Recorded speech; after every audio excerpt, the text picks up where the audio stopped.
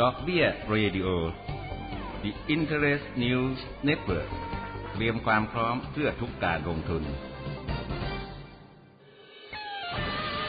เซียนเศรษฐกิจ ดำเนินรายการโดย รัชกรอัสดรธีรยุทธพิชาภาสักมังกร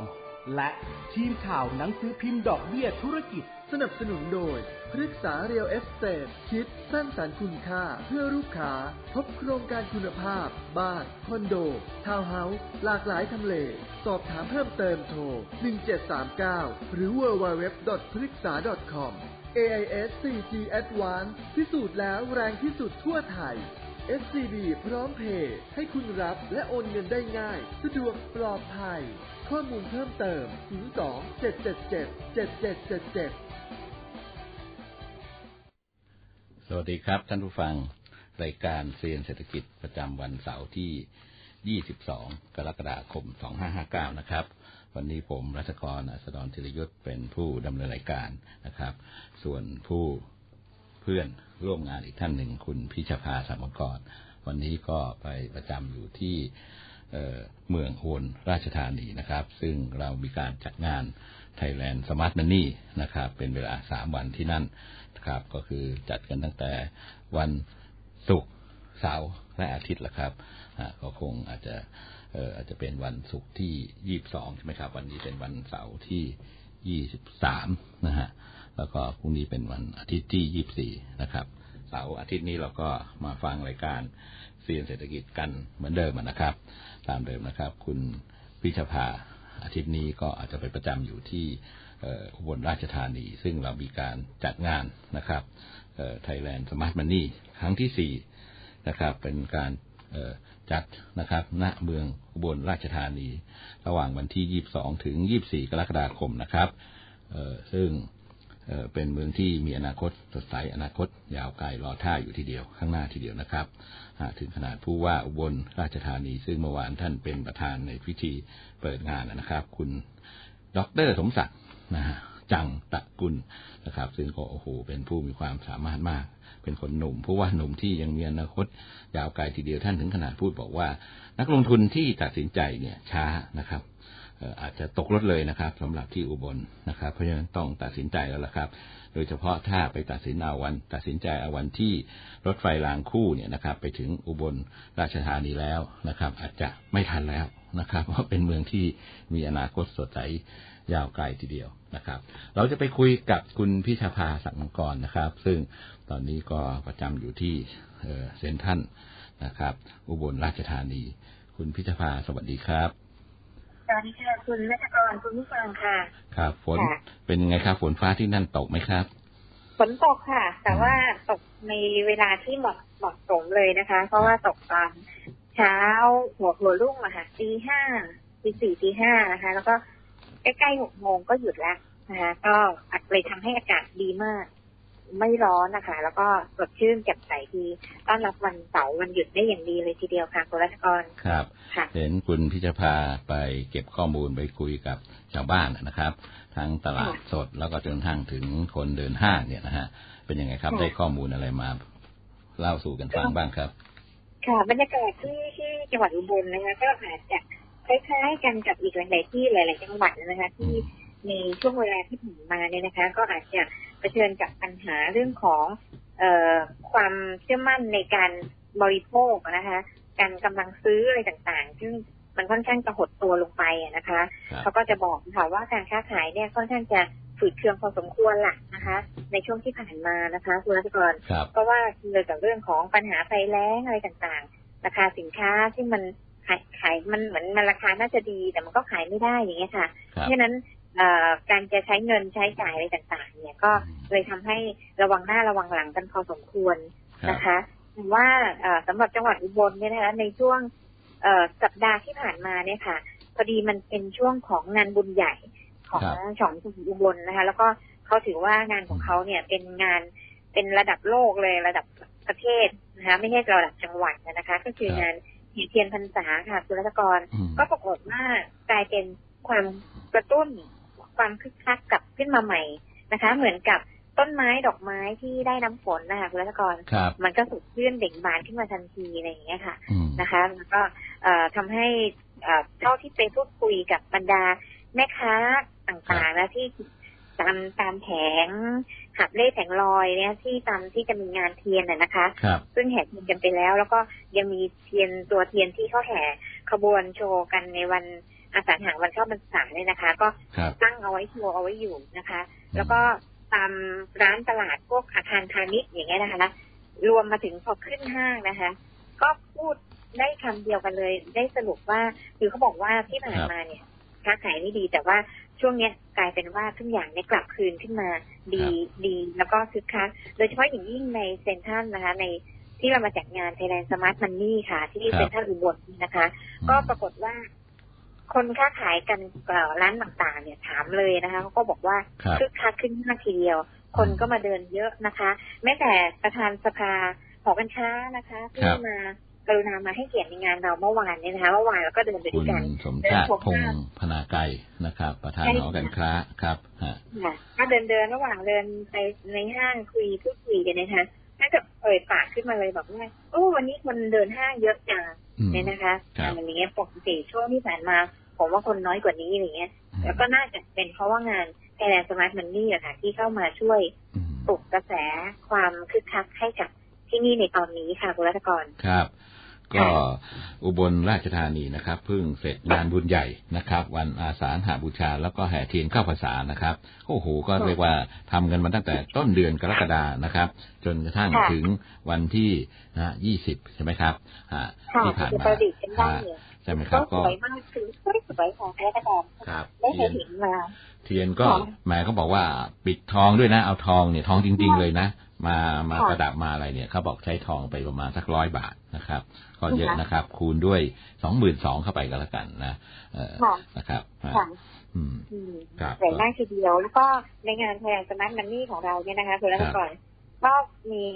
เรื่องของสถาบันการเงินต่างๆเลยนะภาครัฐภาคภาคเอกชนนะคะ รวมทั้งครับหน่วยงานที่มีการสนับสนุนไม่ว่าจะเป็นบสยนะคะเรียกเอ่อเครดิตบูโรอะไรเหล่านี้นะคะครับแล้วก็อืมเอ่อ SME Bank นะฮะช่างค่ะปปสไทยประกันชีวิตเมืองไทยประกันชีวิต นะคะแล้วก็ยังมีธุรกิจท้องถิ่นนะคะซึ่งครับเอ่อปีก่อนคือเราจัดปีนี้เป็นปีที่สี่ปีก่อนๆเนี่ยนะคะเรามาจัดงานเขาก็เห็นความสำเร็จ คนที่เป็นธุรกิจท้องถิ่นเขาก็อยากจะมาร่วมงานกับเราด้วย ก็อย่างเช่นอ่ารถเชฟโรเลตอย่างเงี้ยนะคะ หรือว่าธุรกิจบ้านนะ ซึ่งเขาบอกว่ากำลังน้ำขึ้นเลยนะสำหรับครับธุรกิจบ้านคือขายดีนะคะหมายถึงว่าครับไม่ใช่ว่าน้ำท่วมอืมค่ะก็ขายดีมากธุรกิจบ้านก็เข้ามาขอเอ่ออยู่ใน งานของเราด้วยนะคะ ซึ่งเป็นธุรกิจท้องถิ่นซึ่งครับคุณกรก็เลยบอกว่าเออถ้าอย่างนั้นเนี่ยก็มาสี่มาดูกันมันก็ทำให้เอ่อเขาเรียกว่าเป็นการสนับสนุนธุรกิจครับท้องถิ่นด้วยนะคะ ก็มากันเยอะเลย แล้วก็เมื่อวานนี้นะคะ ก็เป็นครับวันที่เอ่อเปิดเขาเรียกว่าลั่นลั่นคล้องกลองลั่นกลองแล้วอย่างเงี้ยนะคะกดครัถึบงแล้ว คนก็มากันพอสมควรอืมเพราะฉะนั้นเนี่ยเอ่อคุณผู้ฟังนะคะที่ฟังเราอยู่ตอนนี้นะครับนะคะไม่ว่าจะเป็น ฟังรายการวิทยุที่อยู่ในกรุงเทพนะคะ หรือฟังวิทยุอินเทอร์เน็ตนะคะตอนนี้เนี่ยรายการของเราอินเทอร์เน็ตเนี่ยครับเชื่อว่ามีคนอุบลหลายคนที่ฟังเราอยู่นะคะ เพราะว่าตอนนั้นจัดจัดรายการอยู่มีท่านผู้ฟังรายหนึ่งท่านหนึ่งนะคะ เป็นครับสุภาพสตรีนะคะ แล้วก็น่ารักมากนะคะก็แบบคุณน้าค่ะโทรเข้ามาแล้วก็บอกว่าเนี่ยอยู่อุบลแล้วก็อืมเอ่อฟังอินเทอร์เน็ตให้หลานเปิดให้ฟัง ให้ลูกให้หลานเปิดให้ฟังเขาบอกว่าชอบใจมาก อย่างเงี้ยเพราะฉะนั้นก็แสดงว่าถ้ามีคนที่ฟังอินเทอร์เน็ตอยู่ แล้วก็มีญาติพี่น้องอยู่ที่อุบลครับรวมทั้งพื้นที่ใกล้เคียงนะคะ ก็อยากจะเรียนเชิญค่ะ ให้มา Thailand Smart Money เสาร์อาทิตย์มีถึงวันพรุ่งนี้อะค่ะนะคะยังมีโอกาสอยู่ครับก็โปรโมโปรโมชั่นน่ะนะครับ แคมเปญที่สถาบันการเงินชั้นนำอะนะครับ ที่มาในงาน Thailand Smart Money เนี่ย ก็ต้องต้องยอมรับนะครับว่าเป็นโปรโมชั่นที่ เด็ดจริง ๆนะครับอ่าคือจะเห็นได้ว่าที่เขาจัดมาเนี่ยนะครับ จัดมาเพื่อที่จะต้องการให้ความช่วยเหลือนะครับเอ่อกับผู้ประกอบธุรกิจ หรือว่าประชาชนเนี่ยนะครับ ได้มีการวางแผนการบริหารการจัดการชีวิตนะครับ ที่เราใช้คำว่าค่ะ Smart Money ก็คือมีความมั่นคงอะนะครับ ทางการเงินค่ะนะครับ การลงทุนนะครับ ทีเดียวนะครับค่ะเพราะฉะนั้นเออเราก็ไปมาแล้วนะครับเออทั้งหมดเนี่ยสามปี ปีนี้ปีที่สี่นะครับ ก็เรียกว่าแม่ งานก็ใหญ่ขึ้นทุกปีแหละครับ แล้วก็มีท้องถิ่นเนี่ยนะครับเข้ามาร่วมนะครับ ในงานนี่ก็มีบ้านจัดสรรนะครับ ของโครงการสิริมงคลนะฮะโครงการสิริมงคลนะคุณวิชภานะครับก็เรียกว่าเป็นเสือข้ามห้วยเป็นนักพัฒนาที่ดินเนี่ยนะครับอสังหาริมทรัพย์มาจากจังหวัดศรีสะเกดนะ แล้วสุดท้ายเนี่ยก็มาที่อุบลก็อย่างว่าแหละครับ ว่าเป็นเมืองแห่งโอกาสนะครับ ที่มีอากาศโอกาสเติบโตอีกไกลเดียวนะครับ ก็มาสร้างหมู่บ้านจัดสรรเกตเอนะฮะติดกับเซ็นทรัลอุบลทีเดียวนะครับ แล้วก็โครงการบ้านจัดสรรแล้วก็สวนน้ำสวนสนุกของเขาเนี่ยนะครับ ก็เรียกว่าจับตลาดคนอุบลแล้วก็สปปลาวคือก็คือคนลาวนะฮะมาเที่ยวนะครับ มองว่าเศรษฐกิจเนี่ยครับที่มีปัญหาบ้านจัดสรรนะครับ ขายไม่ได้นะแต่ของสิริมงคลเนี่ยเขาขายหมดเลยนะคุณพิชภาเชื่อไหมเขาบอกเขาเปิดเฟสแรกนะไปแล้วนะครับ ขายเกลี้ยงเลย แล้วมางานนี้ก็เรียกว่ามาเปิดเฟสสองเฟสสามอะไรนี่นะครับ ก็อ่ามามาในงานเราเนี่ยนะครับ ก็เรียกว่าเปิดเฟสสองเฟสสามก็เรียกว่าถามผมแวบก็ไปถามเขาว่าที่ดินเป็นยังไงเฟสแรกเขาบอกขายหมดไปแล้วครับหกสิบหกหลังราคา เริ่มต้นเนี่ยประมาณสักสี่จุดสองห้าล้านบาทนะครับ ก็เรียกว่าในงานก็จะนำเฟสสองมา ราคาที่เขาขายกันนะคุณผู้ชมในเมืองราคาตารางวันขณะเนี้ยนะครับสี่ห้าหมื่นบาททีเดียวนะครับ ต่อตารางวานะครับ ก็ไม่ธรรมดานะครับอ่านอกจากนั้นก็ยังมีเอ่อโครงการมาจัดสรรที่ดังๆอะนะครับ จากกรุงเทพเนี่ยก็ไปบุกอุบลเนี่ยหลายโครงการทีเดียวนะครับอ่าแต่ว่าผมไม่ค่อยมีรายละเอียดก็เลยขออภัยไม่เอ่ยชื่อถึงข่าวก็แล้วกันนะครับค่ะนอกจากนั้นเนี่ยนะครับยังมีศูนย์รถเชฟโรเลตนะครับ เจริญชัย นะครับ อันนี้เขาโตมาจาก Kubota คุณพิชภานะครับ คือ Kubota เนี่ยก็เรียกว่าเป็นเจ้าแห่งเออเกษตรอะนะทั้งหลายทั้งปวงอะนะครับ ก็เรียกว่าเขาพอเขาทำอันนี่เสร็จเขาก็มาทำศูนย์เชฟโรเลตซึ่งใหญ่มากนะเขาบอกใหญ่ที่สุดในอาอาเซียนนะครับในอาเซียนอ่าเขาบอกว่าถ้าในเอเชียเนี่ยก็ลองจีนประเทศเดียวครับนะครับค่ะนอกจากนั้นเนี่ยนะครับคุณจะมาเชื่อไหมเขาบอกว่าไอ้ศูนย์วัสดุก่อสร้างอะไรใหญ่ ๆ ทั้งหลายเนี่ยอย่าง DoHome อะไรเนี่ยนะก็เกิดนะครับที่อุบลราชธานี นะครับ แล้วก็อาศัยได้ตลาดนี่ยนะครับ จากเพื่อนบ้านนี่ยนะครับลาวกัมพูชาเวียดนามอะไรต่างๆนี่ยนะครับทำให้เขาเติบใหญ่นะครับฮะในอนาคตผมก็คิดว่าก็คงจะมีนะครับ กิจการเหล่านี้เข้าตลาดหลักทรัพย์นะครับครับ ก็ก็นี่คืออุบลราชธานีเมืองที่เราไปจัดงานอยู่ในเวลานี้นะครับ ถ้า พรุ่งนี้มีโอกาสก็จะมาพูดเรื่องอุบลราชธานีให้ฟังอีกต่อนะครับปีนี้ก็เป็นปีที่อุบลราชธานีเขาตั้งเป้าไว้ว่านะครับ ว่าเป็นปีผู้หญิงพาเที่ยวนะฮะ Lady Destination นะครับ ก็เรียกว่าเออแหมนะเขาเรียกว่าช่างจับจุดได้จริง ๆ ว่าในชีวิตเราเนี่ยนะครับแม่ผู้หญิงมีบทบาทนะครับ ต่อชีวิตเราเยอะนะครับ ผมเป็นผู้ชายก็ต้องพูดอย่างนี้นะครับ ตั้งแต่แม่เมีย แม่ยายนะ พี่สาวน้องสาวนะครับ เออลูกสาวอะไรเงี้ยนะครับ แม้กระทั่งคุณติ๊กอุไรนี่ก็แม่เป็นผู้หญิงที่มีบทบาทนะครับ ไม่มีคุณติ๊กก็มาขับเคลื่อนงานนะครับ จัดวิธีให้เราไม่ได้นะครับนะครับ ก็นะครับ ผู้ชายที่นั่งอยู่ก็อย่าน้อยใจไปนะนะครับ ก็เนี่ยนะครับ ก็เรียกว่าเป็นเขาบอกว่าทำไมถึงเอาผู้หญิงเป็นพาเที่ยวเขาบอกว่าผู้หญิงนี่แหละ ตัดสินใจพาเพื่อน พาแฟนพาอะไรมาเที่ยวนะครับเอาละครับเราไปเข้าสู่รายการเนี่ยนะครับ ไปคุยเรื่องสถานการณ์ทางการเงินนะครับ กับคุณจินพัฒน์วัฒนกูลเจ้าหน้าที่อาวุโสนะครับ Sales and Structuring ธนาคารกรุงไทยนะครับ ซึ่งในสัปดาห์ที่ผ่านมาก็ต้องบอกว่านะครับค่าเงินดอลลาร์ก็ติดปีกแล้วครับดัชนีขึ้นมาเยอะทีเดียวนะครับ โดยเฉพาะเมื่อเทียบกับเงินเยนนะฮะซึ่งมีข่าวว่านะครับรัฐบาล ชินโซอาเบะนายกรัฐมนตรีนะครับ อาจจะต้องกระตุ้นเงินทุ่มเงินถึงประมาณสักสองแสนล้านเหรียญเนี่ยอัดใส่เพื่อกระตุ้นเศรษฐกิจญี่ปุ่นนะครับ สวัสดีครับคุณชินพัฒน์ครับ ครับผมสวัสดีครับ เป็นไงครับ ดอลคลารับร์ก็เอ่แข็งอเอาในแข็งที่ที่เอาผ่านมาตัวค่าเงินบาทเองเนี่ยครับก็อย่างบ้านเราเนี่ยเปิดทำการแค่สามวันนะครับผมใช่ครับฮะซึ่งค่าเงินบาทก็ยังคงอยู่ในช่วงแข่งค่าอย่างต่อเนื่องนะครับ ผมค่าเงินบาทในที่ที่ผ่านมาก็วิ่งอยู่ในช่วงสามสิบสี่จุดแปดห้าถึงสามสิบห้าจุดหนึ่งศูนย์นะครับผม ครับอืมติมๆอยู่สามสิบห้าบวกลบสิบตังค์เนี่ยครับนะฮะอืมก็เปิดตลาดในวันพุธที่ผ่านมา ก็เปิดตลาดที่ 35.01 นะครับผมครับบาทต่อดอลลาร์ ซึ่งระหว่างวันเนี่ยมีแรงซื้อมาบ้างจากทางฝั่งอินพอร์ต ซึ่งก็มองเขาอาจจะมองว่าอ่าดอลลาร์บาทเนี่ยไม่น่าจะต่ำกว่า35 นะครับผมครับซึ่งก็ทำให้ค่าเงินบาทเนี่ยขึ้นไปทำจุดสูงสุดของอาทิตย์ที่ 35.10 ในวันพุธอะนะครับผมครับแต่ว่าก็ต้านทานกระแสเงินที่ไหลเข้าในประเทศไม่ไหวนะครับอืมผมก็ย่อกลับมา ปิดตลาดในวันพุธที่ 35.03อะนะครับผม ครับ แล้วก็หลุด 35 ในวันพฤหัสครับผมอืมก็หลังจากนั้นก็มีแรงพยายามซื้อขึ้นมากลับมาเรื่อยๆนะครับผมพยายามจะดันให้มันกลับมาเกิน 35 นะครับผมแต่ว่าก็ทำไม่สำเร็จ แล้วก็ลงมาทำต่ำสุดสุดต่ำสุดของอาทิตย์ ในวันศุกร์นะครับผมครับที่สามสิบสี่จุดแปดห้าตอนเย็นๆนะนะฮะเย็นครับโอ้แข็งเย็นขึ้วันนเยศุอะกเหร์มือนแล้กันวก็นะครับปิดตลาดในที่ที่ผ่านมาที่สามสิบสี่จุดเก้าศูนย์นะครับ ครับ นี่ขนาเรีดยกว่าครับส่วนตลาดในสัปดาห์หน้าเนี่ย เหตุการณ์ที่น่าจับตามองเนี่ยก็คงจะต้องหนีไม่พ้นการประชุม FOMC เนาะที่จะมีในวันพุธอะนะครับผมครับแล้วก็ต่อเนื่องเลยพฤหัสศุกร์จะมี BOJ นะครับผมดูว่าเขาจะออกมากระตุ้นเศรษฐกิจ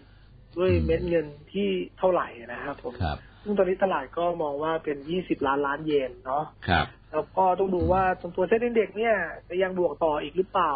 ครับเป็นจะไหลเข้าประเทศต่อหรือเปล่านะครับผมอืมก็ให้กรอบสัปดาห์หน้าไว้ที่ 34.80 ถึง 35.10 นะครับผมครับ คุณชินพัฒน์ฟันธงว่า FOMC เฟดเนี่ยจะมีอะไรออกมาไหมครับ อ๋อก็คงไม่คงไม่ขึ้นดอกเบี้ยแล้วล่ะฮะ ไม่กล้าขึ้นนะ ใช่คงไม่ได้ค่าขึ้นก็ไปดูดูครับก็เดี๋ยวนี้หลังๆ เริ่มมีโพลออกมาจากว่าครับอ่ามีโอกาสที่จะลดดอกเบี้ยซะด้วยซ้ำใช่ไหมฮะครัแต่บว่าช่วงหลังๆก็มีโพลกลับมาอีกว่าโอเคมีโอกาสที่จะขึ้นดอกเบี้ย ได้อย่างน้อยน่าจะเป็นธันวาครับ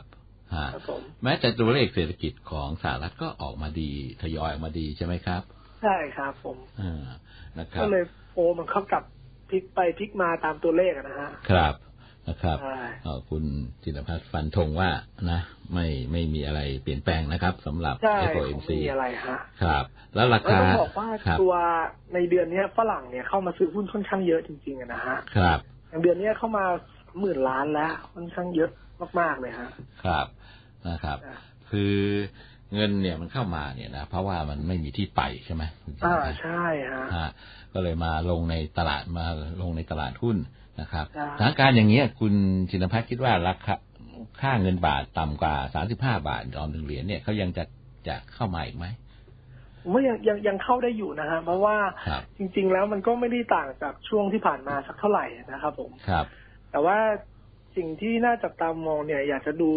ทางปฏิกิริยาของทางแบงก์ชาติว่าเขาจะมี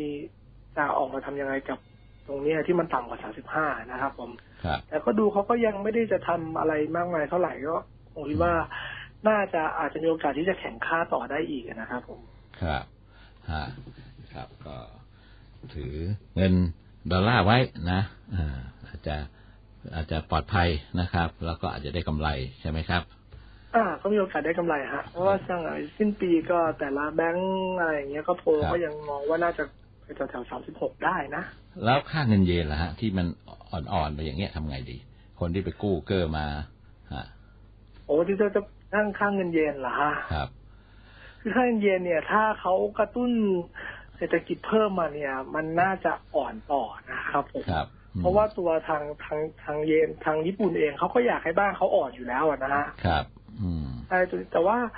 ก็ต้องดูว่าตลาดเนี่ยจะมี reaction กับตรงนี้ยังไงนะครับ เพราะว่าเหมือนว่ายิ่งเขายิ่งกระตุ้นเท่าไหร่เนี่ย ครับค่าเงินเยนมันกลับแข็งค่าขึ้นครับคือก็ต้องเขาต้องเขาต้องดูว่าเขาจะใช้ไม้เด็ดยังไงนะครับผมครับ ครับเอาละครับ วันนี้ขอบคุณคุณชินพัฒน์มากนะครับ ครับผมนะครับ สวัสดีครับ ครับสวัสดีครับว่าเราไปคุยเรื่องราคาทองกันดีกว่านะครับ ราคาทองนี่แม่ก็กลายเป็นสัปดาห์ที่นะครับเอ่อมีความผันผวนนะครับมามาทางเอ่ออ่อนค่าลงมานะครับ เหลือล่าสุดเมื่อคืนเนี่ย นะครับปิดไปที่หนึ่งพันสามร้อยี่สองจุดหนึ่งศูนย์เหรียญต่อทอยอาวทีเดียวนะครับ ก็ลดลงไปเยอะทีเดียวนะครับ เราไปคุยกับนะครับ คุณชลชาติวรวุฒิจงสถิตนะครับ คุณวรคุณชลชาติสวัสดีครับ สวัสดีครับคุณรัตกรครับ เสียงอ่อนละโหยตามทฮัลโหลองเลย เสียงอ่อนละโหยตามทองเลยนะ คุณชลชาติ ครับครับก็อย่างก็สัปดาห์ที่แล้วนะครับ ก็อย่างที่ผมเรียนก็ครับ ก็คาดว่าคงแกว่งๆอยู่ในกรอบแคบๆนะครับครับก็จริงๆก็แกว่งอยู่เขาผมเข้าใจว่าแกว่งอยู่ประมาณหนึ่งพันสามร้อยยี่สิบเหรียญถึงหนึ่งพันสามร้อยสามสิบเหรียญสหรัฐต่อทรอยออนซ์นะครับครับอย่างที่คุณรัฐกรพูดเมื่อสักครู่ เพราะว่าจริง ๆ อาทิตย์ที่แล้วเนี่ยก็มีการประชุมของธนาคารกลางของยุโรปนะครับ European Central Bank ก็ไม่ได้ออกมาตรการอะไรมาเพิ่มนะครับครับก็ ก็เลยไม่ได้มีอะไรที่มา support ทองเพิ่มประกอบกับอาทิตย์นี้อืมไม่ใช่อาทิตย์หน้าครับเอ่อกรงงของสหรัฐก็คือเฟดเนี่ยเขาจะประชุมเรื่องเลททุกคนเนี่ยไม่คาดไม่คิดหรอกครับว่าจะขึ้นก็คือว่าถ้าไปโพลเนี่ยร้อยเปอร์เซ็นคิดว่ามีโอกาสแค่สองเปอร์เซ็นเท่านั้นที่จะขึ้นครับแต่ก็เหมือนกับว่าทอมขึ้นมาแล้วก็เสียวพลิกล็อกไหมๆก็อย่าพึ่งเลยรอคือคืออารมณ์ประมาณว่า คือทองขึ้นมาเยอะแล้วโอเค ถึงอาทิตย์หน้าจะไม่ขึ้นดอก คิดว่าไม่ขึ้นดอกเบี้ยกันแน่ๆแต่ไหนๆก็จะประชุมแล้วก็เสียวๆก็อย่าเพิ่งไปซื้อเยอะอะไรอย่างนี้ครับก็เลยรอดูท่าทีอาทิตย์หน้านะครับครับ เพราะฉะนั้นอาทิตย์หน้าเนี่ยก็แต่อาทิตย์หน้าถ้าเกิดว่าหลังประชุมเฟดออกมาแล้วก็ไม่ขึ้นจริงเนี่ยก็อาจจะลดแรงครับกดดันทองลงไปได้บ้างนะครับ แต่ก็คงไม่ได้ขึ้นไปเยอะ เพราะว่าก็อืมคือมันยังไม่มีปัจจัยอะไรใหม่ขึ้นมานะครับครับ ถ้าถามผมเมื่อกรอบผมก็คิดว่ามันก็คงประมาณ ประมาณราวๆเนี้ยครับอืมก็ถ้าไม่ถ้าถ้าไม่ขึ้นก็อาจจะไปเทสหนึ่งพันสามร้อยห้าสิบได้ แต่ผมก็คิดว่ามันคงไปไม่ได้ไกลนะครับครับก็คงแกว่งแกว่งอยู่แถวนี้ครับนะครับอาวัดทองที่มันตกมาเนี่ย คุณชลชาติมองว่า เพราะเอ่อระวังไว้ก่อนนะครับ เหมือนกับขับรถก็ถึงทางโค้งก็ระวังไว้ก่อนคือเผื่อว่าใช่มัเพราะมันจะขึ้นมาเยอะแล้วครับเออมันขึ้นมาเยอะครับสองอาจจะมีพลิกล็อกจาก FOMC ใช่ใช่ไหมครับเผื่อมันบ้าๆขึ้นมามันอาจจะเอ่อ ขึ้นครับดอกเบี้ยก็ได้นะคุณจริง ๆเขาคิดว่าไม่น่าขึ้นหรอกไม่น่าแค่ไม่มีทางขึ้นเลย แต่ว่าครับอารมณ์ก็เหมือนกับว่า ก็ไหนๆอาทิตย์หน้าแล้วก็ครับรอดูก่อนแล้วกันครับอะไรอย่างเงี้ยครับ ราคาเท่าไหร่หน้าหน้ารับฮะหน้าซื้ออะฮะตอนนี้แหละครับ ตอนนี้ถ้ามันลงไปอะถ้าพูดทางเทคนิคเนี่ยครับ หลุดพัถ้านพูดสามทางเทคนิคถ้าถ้าพูดทางเทคนิคโอเค ถ้ามันหลุดพันสามร้อยี่สิบไปมันมีโอกาสแค่พันสองร้อยแปดสิบครับอื แต่มถ้าจะซื้อก็ซื้อช่วงนั้นก็ได้แล้วหวังมันรีบาวด์กลับมานะครับครับอันนี้คือถ้าเขาไม่ขึ้นดอกเบี้ยนะถ้าขึ้นดอกเบี้ยนี่คนละเรื่องนะครับ ครับ ตัวใครตัวมันแหละครัตบอนนั้น ครับแต่ว่าอย่างไรก็ดีเนี่ย ยังมันก็ยังมีซัพพอร์ตจากเรื่องของ ก็ยังอืมบีสิทอยู่ เพราะว่ามันยังไม่แน่นอน ก็ยังมี support ทางนี้อยู่แต่เมื่ออาทิตย์ที่แล้วดอลลาร์ก็แข็งขึ้นมาด้วย มันก็เลยใช่ครับกดดันราคาทองครับนะครับ ก็ต้องดูสัปดาห์หน้าว่า โอเค เรื่องเฟดเป็นยังไง คือผมคิดว่าคงไม่ขึ้นหรอก แต่เพียงแต่คนก็อืมไม่ค่อยคือมันขึ้นมาเยอะก็ไม่ค่อยอยากไปใส่เยอะช่วงนี้ครับรอดูก่อนให้แน่นแล้วอนญี่ปุ่นครับอะญี่ปุ่นจะออกเห็นบอกจะออกมาวันสักสองแสนเอ่อเหรียญเนี่ยมันก็ล้านเหรียญเนี่ยมันกระตุ้นอะ คืออาทิตย์หน้าก็จะมี BOJ ใช่ออกมา แต่ถ้าถามผมเนี่ยครับญี่ปุ่นไม่ค่อยมีผลกับราคาทองเท่าไหร่ครับนะครับ ส่วนใหญ่จะเป็นเท่าที่ผมสังเกตมาเนี่ยครับผลจริง ๆ เนี่ย มันจะเป็นแบบครับ ของ US กับยูโรยูโรจริงๆ ยังมีผลน้อยกว่า US ด้วยซ้ำแต่เปินช่วงนี้มันช่วงฮิตครับของ b ีสิมันก็เลยขึ้นมาครับนะครับอืมก็เพราะฉะนั้นญี่ปุ่นเนี่ยจริงๆ ต่อให้มีผลก็คงแบบ ผมว่าวันเดียวอืมครันะครับบผมคิดไม่ผมไม่คิดว่าผลกระทบเยอะครับครับฮะโอเค วันนี้ขอบคุณคุณชลชาติมากนะครับ ครับครับนะครับครับสขวัอบสคุดีณคครัรับบรัชกรสวัสดีครับ คุณชลชาติวรวุฒิจงสถิตนะครับ นักวิเคราะห์ นะครับ ทองคำของดอกเบี้ยธุรกิจเรานี่แหละครับอ่าเราไปคุยกับอย่างรวดเร็วนะครับ ไปคุยกับดรธนินทร์วังวีระธนานนท์นะครับ ซึ่งเป็นนักเศรษฐศาสตร์ และนักวิเคราะห์ประจำหนังสือพิมพ์ดอกเบี้ยธุรกิจนะครับ ดรธนินทร์สวัสดีครับ ดรคิมครับ สวัสดีครับ คุณรัตกรครับ และท่านผู้ฟังที่เคารพครับ ครับ ในเวลาที่หุ้นขึ้นอย่างไม่มีเหตุผลนะครับครับอย่าหาว่าผมมาขัดลาบท่านผู้ฟังเลยนะครับครับแต่อะไรก็ไม่แน่ไม่นอนไปหมดนะครับ เสียน้อยเสียยากเสียมากเสียง่ายนะครับครับขายหมูก็ยังดีกว่าติดดอยอืมถ้าเรายังหาคำตอบว่าหุ้นที่ขึ้นมาเพราะอะไรไม่ได้นะครับ ก็ครับอย่าเพิ่งไปซื้อตามอืมค วรดูว่าที่มีกำไรอยู่จะทำยังไงจะดีกว่านะครับครับ แต่ถ้าในยามเศรษฐกิจดีใครจะเล่นมาจิ้นนี่ผมก็ไม่ห้ามเลยนะครับ แต่ครับในยามนี้เนี่ยที่ไม่รู้จะเกิดวิกฤตเศรษฐกิจเมื่อไหร่ก็ทำตัวให้ปลอดภัยไว้ก่อนจะสบายใจกว่านะครับครับเหตุผลเดียวที่หุ้นขึ้นตอนนี้ก็คือเป็ดอาจจะยังไม่ขึ้นดอกเบี้ยทำให้ดอลลาร์อ่อนเงินไหลเข้าสินทรัพย์เสี่ยงและ emerging นะครับ ตามที่ผมเคยพูดไปหลายทีแล้ว ส่วนเอ่อ พันธบัตรรัฐบาลสหรัฐก็ยังอยู่ในเกณฑ์ต่ำอยู่นะฮะครับถือว่าเป็นตัวจุดชนวนที่ทำให้คนเนี่ยแห่มาเล่นหุ้นกันเลยก็ว่าได้นะครับครับ ถ้าพันธบัตรรัฐบาลสหรัฐ10 year US yield เนี่ยอยู่ที่ประมาณ 1.5เปอร์เซ็นอย่างเงี้ยฮะครับก็คือเป็นตัวอ่าอัตรา risk free rate ตั้งต้นเลยที่ 1.5 คนก็ไปหาอ่าเงินก็จะไหลไปที่ผลตอบแทนที่สูงกว่าขึ้นเรื่อยๆ แต่ให้ดูที่ตัวนี้ไว้ดีๆครับ อาจจะเป็นจุดเริ่มต้นของชนวนวิกฤตถ้าเกิดมันขึ้นมาสัก สองสามสี่อ่าก็คอยดูเรื่อยๆนะครับครับตรงนี้ผมมั่นใจนะครับว่าเอ่อผมเคยพูดไปเมื่อปลายปีนะครับตอนที่คนกลัวเนี่ยหุ้นจะขึ้นนะครับครับ พอคนมั่นใจหุ้นก็จะตก เพราะว่าการที่คนมั่นใจ หมายถึงทุกคนเนี่ยมีของอยู่ในมือนะครับ ซื้อกันเต็มพอร์ตหมดแล้ว พอไม่มีใครมารับไม้ต่อหุ้นก็ตกนะครับ ถามว่าครึ่งปีหลังจะเป็นยังไงนะครับ ครั้งแรกครับครึ่งแรกเนี่ยขึ้นรวดเดียวมาจากพันสองห้าสิบมาพันห้าห้าสิบประมาณครับสามร้อยกว่าจุดนะครับครับ ประมาณยี่สิบเปอร์เซ็นผมว่าก็น่าขายได้แล้วนะฮะอย่าไปกลัวขายหมูอืมปกติเราจะพยายามทำ stop loss นะครับ let pro- แล้วก็ let profit run แต่วันนี้ผมอยากให้ลองทำ lock profit ด้วยก็ดีนะครับอืมวันนี้ความเคลื่อนไหวในต่างประเทศนะครับ คุณรัตกรครับเพิ่งเกิดขึ้นเมื่อคืนนี้เองนะฮะโอ้โหก็คือมีการจัดเสวนาที่เมืองจีนนะครับ ในครับเมืองเฉิงตูนะครับอืมสถาบันทางเศรษฐกิจหลักของโลกมาครบ IMF World Bank OECD WTO ไม่ขาดแม้แต่เจ้าเดียวนะครับครับไฮไลท์ไปอยู่ที่นายกจีนหลี่เค่อเฉียงนะครับ ท่านได้กล่าวว่าอย่างน่าสนใจ แล้วก็เป็นการกำหนดบทบาทของจีนในเวทีเศรษฐกิจโลกเลยก็ว่าได้นะฮะครับถ้าจะแปล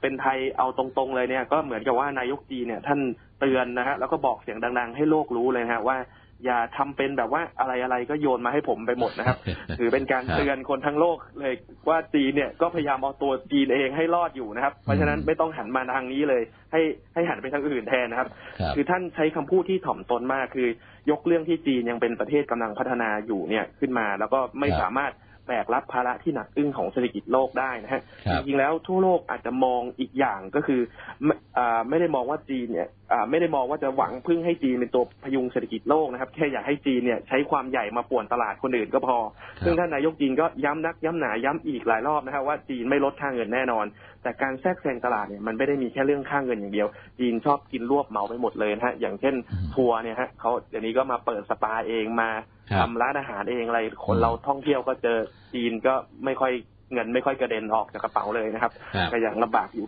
ส่วนทางด้านผู้นำองค์กรหลักของโลกนะครับ อย่าง IMF WTO World Bank OECD เนี่ยพูดเสียงเดียวกันหมดเลยนะครับ คุณนัทกรครับตอนนี้กลายเป็นว่าเทรนด์เศรษฐกิจโลกมันไปในทางที่ว่าการค้าโลกตกต่ำลง Brexit มีผลกระทบ แล้วก็ส่งผลไปในแนวทาง anti globalization ครับ ซึ่งตรงนี้มันก็เป็นอะไรที่น่าสนใจว่าอาเซียนเนี่ยเรากำลังจะรวมกัน แต่เราดูตัวอย่างของอังกฤษที่เขาเพิ่งออกมานะครับกลายเป็นว่าออกมาแล้วก็หลายคนอาจจะบอกว่าแย่นะครับ แต่ผมยังมองว่าเป็นโอกาสใหม่ของอังกฤษนะครับ คุณรัตกร คือนายบอริสจอนสันนะครับ ตอนนั้นผมเคยบอกกำลังจะเป็นว่าที่นายก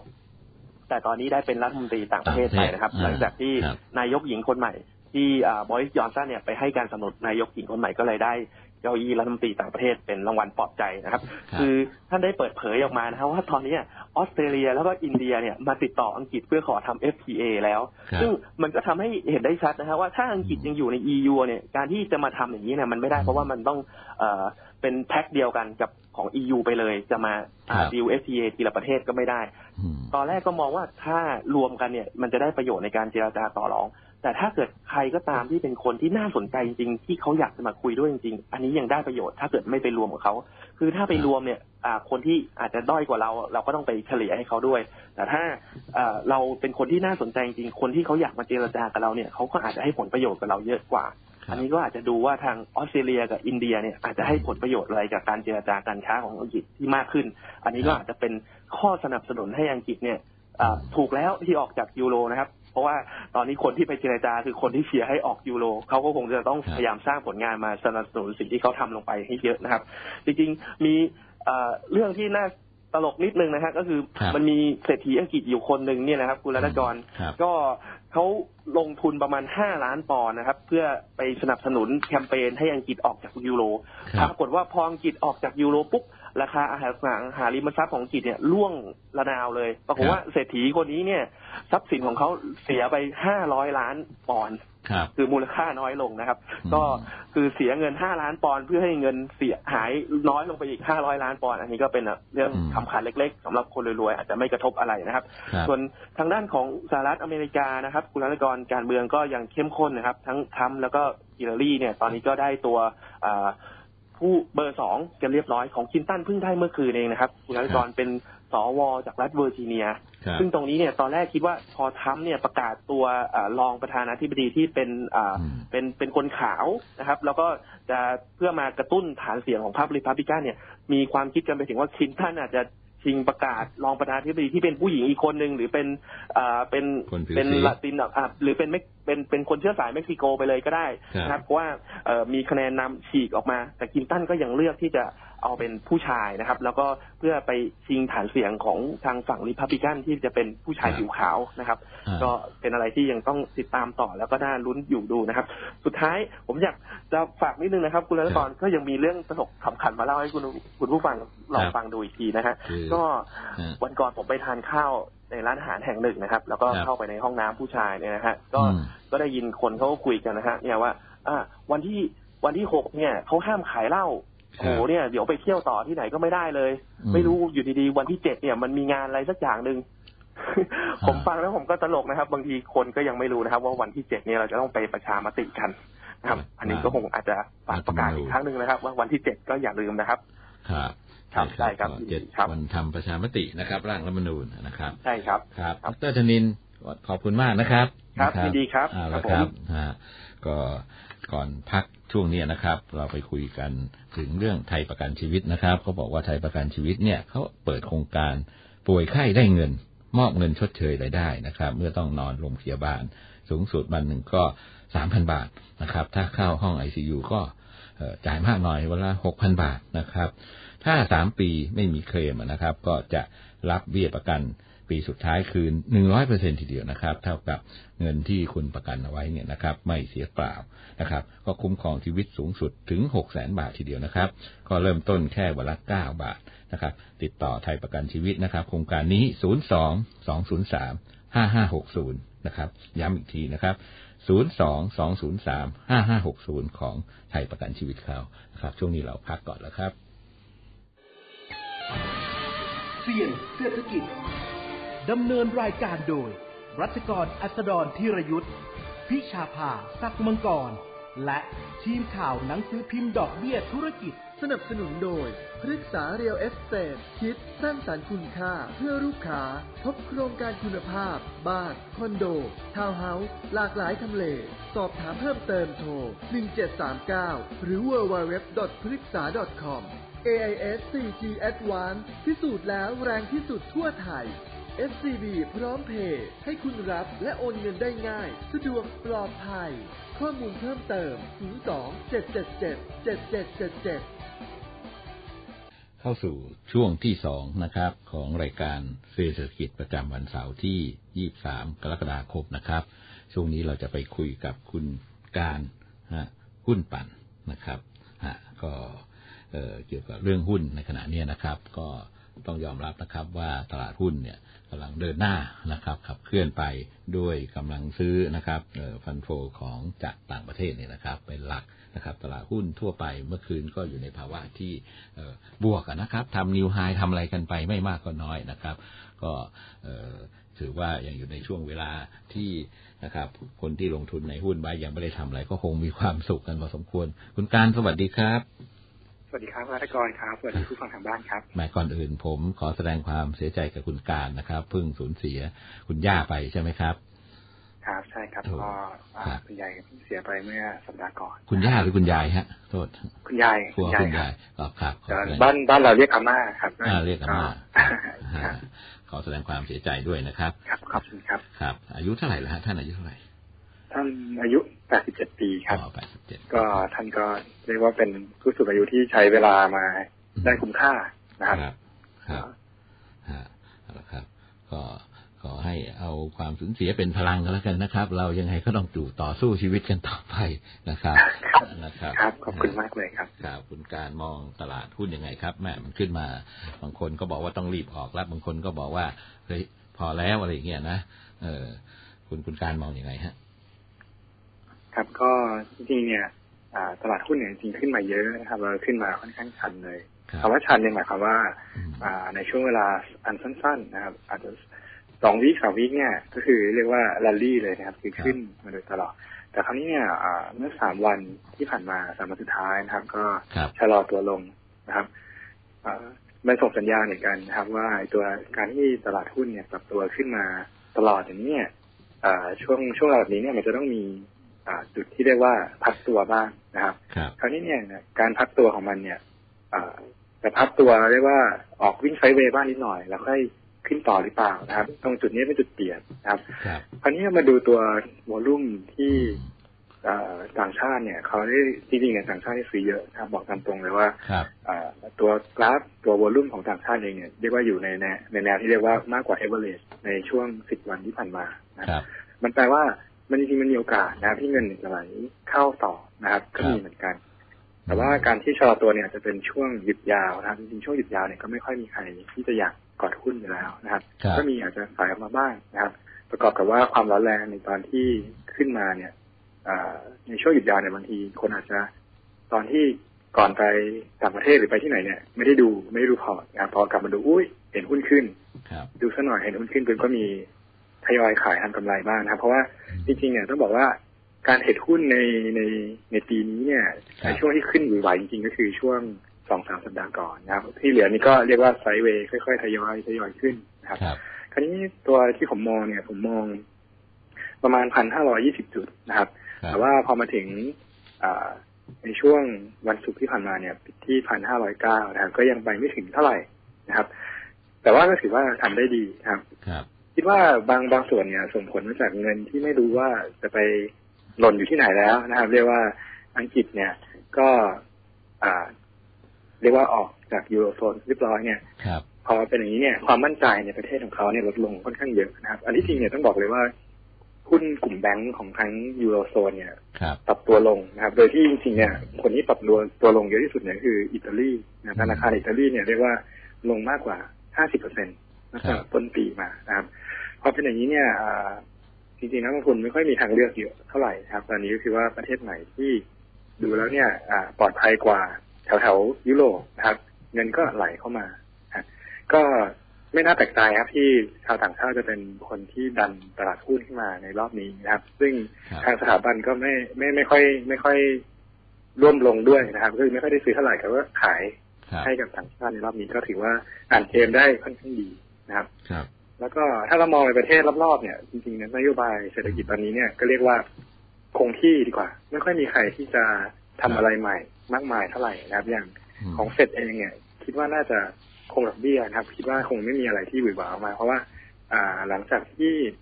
ครับอังกฤษเนี่ยออกจากยูโรโซนนะครับก็มีประชุม ECB รอบแรกเมื่อวานนะครับ ปรากฏว่าแกก็คงดอกเบี้ยนโยบายรีไฟแนนซ์ที่ศูนย์เปอร์เซ็นต์นะครับครับแล้วก็ดอกเบี้ยเงินฝาก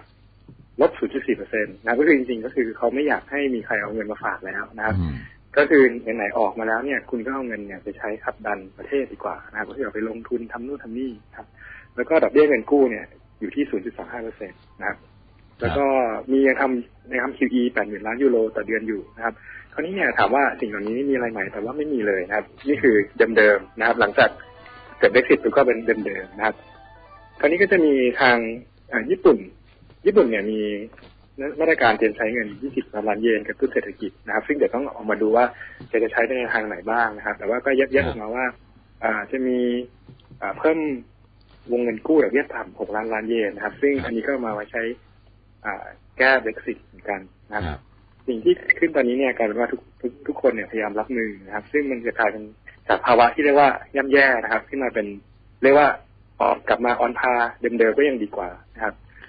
ก็สำหรับประเทศไทยเรานะครับ ที่จริงประเทศไทยเราเนี่ย ใน sector ของแบงก์เนี่ยไม่ค่อยดีนะครับ ก็ต้องมันมันส่งมันส่งออกสออาการมาตั้งแต่ตอนที่ต้นปีแล้วว่า เอ๊ะปล่อยกู้ยากนะครับครับจริงๆคำว่าปล่อยกู้ยากนี่ไม่ใช่อะไรนะครับ ก็คือเรียกว่าแบงก์เนี่ย เห็นความเสี่ยงแล้วเห็นแล้วนะครับ การที่จะคัดเลือกคนที่จะมายืมเงินเขาเนี่ยเรียกว่าเข้มงวดมากๆนะครับครับเพราะว่าดอกเบี้ยมันก็ต่ำด้วยนะครับพอดอกเบี้ยต่ำปุ๊บอ่า คำว่าดอกเบี้ยต่ำนี่หมายความว่าต่ำสำหรับบ้านเรานี่ก็คือไอ้แกลระหว่างดอกเบี้ยเงินฝากกับดอกเบี้ยเงินกู้ยังสูงอยู่นะครับครับแต่ว่าก็ถือว่าเป็นช่วงที่ต่ำที่สุดในในที่บ้านเรามีมานะครับครับ คราวนี้เนี่ยพอมันเป็นแบบนี้เนี่ยอ่าแบงก์ใหญ่ไม่ค่อยกล้าปล่อยกู้เท่าไหร่แถมยังต้องตั้งสำรองหนี้เสียเพิ่มขึ้นนะครับไอ้เงินที่จะเอามาปล่อยกู้เนี่ยก็ถูกยึดไว้ส่วนหนึ่งแล้วมาสำรองหนี้เสีย ปรากฏว่ามันก็เป็นที่แน่นอนว่ากำไรของแบงก์ใหญ่ๆเนี่ยก็ไม่ค่อยเยอะนะครับก็คือลดลงพูดง่ายๆอาจจะลดลง บ้างหนึ่งเปอร์เซ็นบ้างสองเปอร์เซ็นบ้างก็แล้วแต่นะครับครับอืมพอแต่นี้ปุ๊บรัฐบาลก็ออกมานะครับบอกว่า ของคุณสมคิดนะครับบอกว่า ตอนนี้เนี่ยเขามีเริ่มมีโครงการพี่ช่วยน้องนะครับพี่ช่วยน้องหมายความว่าบริษัทใหญ่เนี่ย ถ้าเกิดสมมติว่านำรายได้ไปสนับสนุน SME เนี่ยครับก็จะได้ลดหย่อนภาษีสองเท่าอืมนะครับ ซึ่งอันนี้มันสสะท้อนภาพเลยว่า หน่วยงานที่เป็นหน่วยงานที่เอาไว้ปล่อยกู้ เรียกว่าเอาไว้ support เงินให้กับเศรษฐกิจ SME เนี่ยอืม เรียกว่าฟันเฟืองตัวนี้มันค่อนข้างฝืดแล้ว มันจะหมุนก็ไม่หมุนแหล่ไม่หมุนแหล่แล้วนะครับ ตอนนี้ก็คุณสมคิดแกก็ใช้กลไกอื่นนะครับ เรียกว่าอ่าเอกชนช่วยเอกชนผมพูดกันง่ายๆอย่างนี้ดีกว่าครับคือพอเอกเอกชนเนี่ยอ่ามันมีมันมีข้อดีข้อเสียเหมือนกันนะครับ ข้อดีคือเงินเนี่ย ถ้าเกิดสมมติว่าเราทำได้จริงเนี่ยเงินก็จะไหลเข้ามาเพิ่มมันจะมีเงินเพิ่มที่เอามาครับเจือในสิ่งอืนี้มแต่ว่าข้อเสียของมันนะครับ ก็มีอย่างที่ว่า แบงค์เนี่ยเห็นเห็นชัดเจนว่ามีครับคู่แข่งแล้วฮะคือมีคู่แข่งเข้ามาแทนคุณแล้ว แล้วก็รัฐบาลเขาสนับสนุนด้วยนะคครัรับบก็ตอนนี้เรียกว่าเป็นช่วงข้ามหันของเซกเตอร์แบงค์นะครับในจากนี้ต่อไปในอีก เรียกว่าครึ่งปีหลังเนี่ยคิดว่าน่าจะเข้มข้นมากๆนะครับครับครับ ตอนนี้ก็คุณการมันก็ลิงก์มาเรื่องครับ คุณการผมเหลือเวลาอีกสักสองนาที คุณการอ๋อเอ่อคิดว่านักลงทุนเนี่ยในสัปดาห์หน้าเนี่ยควรจะต้องเอ่อระมัดระวังหรือว่าลุยต่อไปเลย ติดปีกบินเข้าไปในถ้าถ้าเป็นผมนะครับ อย่าครับเพิ่งติดปีกนะครับ แต่ครับว่าถามว่าลุยเข้าไปไหมตอบว่าลุยเข้าไปนะครับครับ แต่ว่าอย่าเพิ่งติดปีกนะครับ ติดปีกนี่คือใครเรียกว่ามาจิ้นช่วงนี้เนี่ยถือว่าค่อนข้างเสี่ยงมากๆนะครับครับอ่าคำว่าลุยของผมหมายความว่าเราดูตัวกระแสเงินของต่างชาติเนี่ยมีโอกาสไหลเข้า เราจะลุยไปกับสิ่งปัจจัยเหล่านี้นะครับครับแต่ว่าสิ่งที่เราต้องต้องป้องกันแล้วก็ระวังไว้คือว่าการที่ตลาดขึ้นมาแบบบุลลิชในช่วงสั้นอืมๆ แล้วก็ตอนนี้สอดสัญญาณชะลอตัวแล้วเนี่ย ตอนนี้เราควรต้องครับเรียกว่าระวังไว้นะครับ แต่ถามว่าลุยไหมคือเราลุยตามหัวรุ่มของต่างชาติถ้าเราดูแล้วว่าครับแต่ละวันเนี่ยหุ้นตัวใหญ่ๆมียังมียังมีคนเก็บอยู่นะครับโอเคเราลุย แต่ว่าในสามวันที่ผ่านมามันไม่ได้เป็นอย่างนั้นแล้วนะครับ ก็คือกลายเป็นตัวเล็ก ๆ เนี่ย มีคนเทรดแทนแล้วก็ตัวใหญ่นี่คือไม่มีใครเทรดแล้วนะครับครับเป็นอย่างนั้นก็อ่าเรียกว่าลุยไปกับตัวใหญ่นะครับ แต่ว่าก็ระวังถ้าเกิดไม่มีตัวใหญ่ปุ๊บเราก็ครับไม่ลุยครับเฉยครับ ครับเอาละครับ คุณการเออคุณการจะติดต่อ คุณการดูข้อมูลอะไรจากคุณการได้ยังไงครับ ช่วยช่วยแนะนำด้วยๆได้ครับ ก็แนะนำเข้าไปในเพจหุ้นปั่นนะครับจริงๆก็คือเข้ามาใน Facebook นะครับ search ของ Facebook นี่แหละ search คำว่าหุ้นปั่นนะครับแล้วเข้ามาเจอเพจยิ่งตอนนี้เนี่ย Facebook เขาเปลี่ยนนโยบายนะครับก็คือว่าเขาลด visibility ลงเหลือศูนย์เปอร์เซ็นต์นะครับหมายความว่าถ้าเกิดครับคุณไม่เข้ามากดไลค์เนี่ยคุณจะไม่ค่อยเห็นข่าวสารดีๆพวกนี้เท่าไหร่นะครับอันนี้ก็ประชาสัมพันธ์ไว้ด้วยนะครับครับถ้ามากดไลค์ตัวบทความแต่ละบทความก็ได้นะครับ จะได้ขึ้นมาในฟีดของคุณอัตโนมัตินะครับ ครับ ครับเอาละครับ วันนี้รบกวนคุณการเพียงเท่านี้ครับ ก็ทราบว่าคุณการก็คงมีพิธีกรรมศาสนาอะไรต้องไปทำนะครับ ให้กับครับคุณยายนะครับ เสียใจด้วยนะครับ คุณการครับ ครับครับขอบคุณมากครับครับ สวัสดีครับ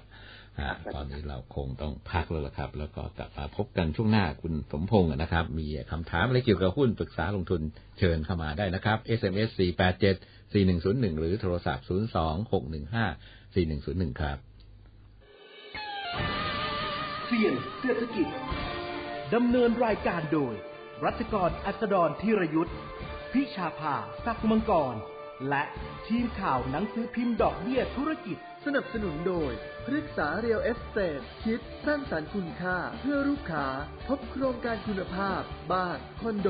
ทาวน์เฮาส์หลากหลายทำเล สอบถามเพิ่มเติมโทร 1739 หรือ www. AIS 4G Advance พิสูจน์แล้วแรงที่สุดทั่วไทย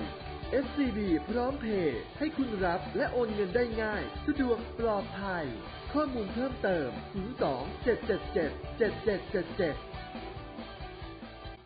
เข้าสู่ชั่วโมงที่สองของรายการเซียนเศรษฐกิจนะครับ ประจำวันเสาร์ที่ 23 กรกฎาคม นะครับ ก็ก่อนจะไปพบกับคุณสมพงษ์เบญจเทพนันนะครับเกี่ยวคุยกันเกี่ยวกับเรื่องหุ้นเนี่ยนะครับ ก็มีข่าวมาว่าจากเมืองไทยประกันชีวิตนะครับเขาจะจัดคอนเสิร์ตนะครับ เมืองไทยสมายคอนเสิร์ต because love นะฮะเออแมชื่องานก็นะครับน่าสนใจทีเดียว เมืองไทยสมายคอนเสิร์ตนะครับ because love เพราะนี่คือรักนะครับ กับนักร้องดังซะด้วยตู่นันทิดาแก้วบัวสาย นะครับ และบีพีรพัฒน์นะครับก็เรียกว่าเฉพาะสมาชิกเมืองไทยนะครับ สมายขับเท่านั้นนะครับ งานนี้เฉพาะสมาชิกเมืองไทยสมายขับเท่านั้นนะครับ ก็ฟังฟรีแล้วครับแต่ว่าคุณต้องเป็นสมาชิกของเมืองไทยสมายครับนะครับ ก็งานจะมีวันเสาร์ที่ 30 กรกฎาคมนะครับปีนี้แหละครับ 2559 เฉพาะวันเสาร์ที่ 30 นะครับ กรกฎาคม 2559 เวลานะครับ 14.00 น นะครับ ที่หอประชุมเมืองไทยประกันชีวิตนะครับ ก็ติดต่อขอรับบัตรนะครับ ตามสิทธิ์นะครับ ที่คุณเป็นสมาชิกเมืองไทยสมายคลับนะครับ นะครับ ตั้งแต่วันนี้เลยนะครับ ถึงวันที่ 27กรกฎาคมนะครับ 2559แหมที่นั่งก็มีจำกัดแล้วครับ มีแค่ 450 ที่นั่งเท่านั้นนะครับ โทรนะครับ จองหรือโทรสอบถามรายละเอียดก่อนดีไหมครับ ที่1766นะครับ กด4นะครับ ย้ำอีกครั้งนะครับเเมืองไทยนะครับ ประกันชีวิตจะจัดคอนเสิร์ต เมืองไทยสมายคอนเสิร์ต because love นะครับ เพราะนี่คือรักกับนันทิดาแก้วบัวสายนะครับคุณตู่และบีพีรพัฒน์นะครับ เฉพาะสมาชิกเมืองไทยสมัยขับเท่านั้นนะครับ ที่นั่งก็มีแค่ 450 ที่นั่งนะครับ จัดวันเสาร์ที่ 30 กรกฎาคม 259 เวลาบ่าย 2 โมงนะครับ ที่หอประชุมเมืองไทยประกันชีวิตนะครับ โทรนะครับได้ที่ 1766 กด 4 นะครับ 1766 กด 4 นะครับ ก็เอาละครับ เราไปคุยเรื่องหุ้นที่กำลังร้อนๆนะครับ เออติดลมบนน่ะนะครับกับคุณสมพงษ์เบญจเทพนันนะครับ ผู้ช่วยกรรมการผู้จัดการบริษัท หลักทรัพย์ไอล่านะครับ คุณสมพงษ์สวัสดีครับ สวัสดีครับพี่รัตกรครับ ครับแม่หุ้นติดลมบนนะรวดเดียวรวดเดียวกับเบสิกนี่รวดเดียวร้อยสามสิบจุดเลยนะครับ คือเที่ยวนี้ก็ต้องต้องยกเครดิตให้กับคุณสมพงษ์นะนี่พูดจากใจผมนะ คุณสมพงษ์เนี่ย ฟันธงว่าหุ้นขึ้นอะนะครับ แต่พอเออหุ้นเทคนิคมันบอกด้วยอะอ่ามันบอก แต่พอตอนนี้ก็คนก็มาหุ้นขึ้นหุ้นขึ้นตามคุณกันใหญ่ละ คุณสมพงษ์ไม่ไม่ค่อยชอบเท่าไหร่คุณสมพงษ์เออบอกไม่ชอบแม่ ผมยังไงถ้าไม่ชอบคนตามติดตามว่างั้นเถอะไม่มันมันมันมันมันเป็นทฤษฎีเลยครับพี่รัตกรว่าครับ เป็นยังไงเวลาคนเชื่อไปทางใดทางหนึ่งครับ มันจะไปอีกทางหนึ่งครับ ที่ผ่านมาทุกคนมองลงมองลงมองลงมันขึ้นครับอืมอันนี้ก็ผมมาถึงจุดที่ยากนะครับเพราะว่ามองยังไงก็ยังมองว่า มันก็มันก็ไปได้ถึงพันหกแต่ว่ามันจะพักไม่พักนะครับ ตรงนี้เนี่ยก็ก็ก็ก็มาถึงจุดที่ค่อนข้างยากต้องใช้ทุกสูตรทุกประสบการณ์ออกมาใจอืมนะครับ เพราะว่าวานก็ลองถามถามในเฟซบุ๊กดูนะครับ ว่า โอเค อย่างเงี้ยหุ้นขึ้นขนาดเนี้ยมีคนมาแนะนำแล้วยังคุณคิดว่าหวังดีไหมหรืออะไรอย่างเงี้ยนะครับ คือลองลองถามดูทุกคนยังมั่นใจอยู่ไหมครับ โอ้โหทุกคนมั่นใจว่าขึ้นหมดเลย อืมอืมนั่นถึงตรนั่นงนั่นสิถึงตรงนี้คุณสมพงษ์เปลี่ยนใจไหม คือมันมันแต่เมื่อวานมันโอเคครับพี่นันกรก็คือว่าครับ มันมันมันเราต้องแบ่งเป็นร้อยยี่ร้อยี่สิบจุดรอบนี้เนี่ยครับเอ่อหุ้นที่นำตลาดเลยจะเป็นกลุ่มธนาคารพาณิชย์หุ้นหุ้นเกรดเอะนะครับ หุ้นเกรดแถวหนึ่งเลยที่ฝรั่งชอบชอบๆอะนะครับ นะครับครับ ที่ฝรั่งเข้ามาซื้ออย่างหุ้นเอ่อพวกแบงก์ใหญ่สามแบงก์ใหญ่นะครับ แบงก์เทพไทยพาณิชย์เคแบงก์เนี่ย ขึ้นกันเกือบยี่สิบเปอร์เซ็นรวดเดียวเลยนะครับ ครับ แล้วประเด็นก็คือว่าในสองวันที่ผ่านมาวันที่ดัชนีเริ่มลบวันแรกอะนะครับอืมเอ่อมันเป็นการลงของหุ้นธนาคารพาณิชย์ค่อนข้างแรงลงวันนั้นคนละสี่ห้าบาทเลยนะครับ ครับนะครับ แต่ว่าเขาขึ้นมากันยี่สิบกว่าบาทอืม นะครับ ตอนแรกก็ยังกังวลกังวลว่า เออมันมันน่าจะปรับฐานละครัแล้วบก็มองกันว่าแนวรับอยู่พันสี่ร้อยเก้าสิบอืมถ้ารับไม่อยู่นี่ อาจจะปรับฐานแรงลงมาถึงพันสี่ร้อยหกสิบเลยแบบเลยประมาณนั้นครับอย่างที่คุยกับพี่สองวันก่อนแต่เมื่อเช้ามองอีคกรับมุมหนึ่งคือตอนนี้กำลังมองอีกมุมหนึ่งว่ามัน มันอาจจะมันมันเป็นลักษณะ selective sale แล้วก็ selective buy เป็นการขายปรับพอร์ตมากกว่าธนากรครับนะครับ ก็คือมีการขายในหุ้นตัวที่ outperform อืมออกไป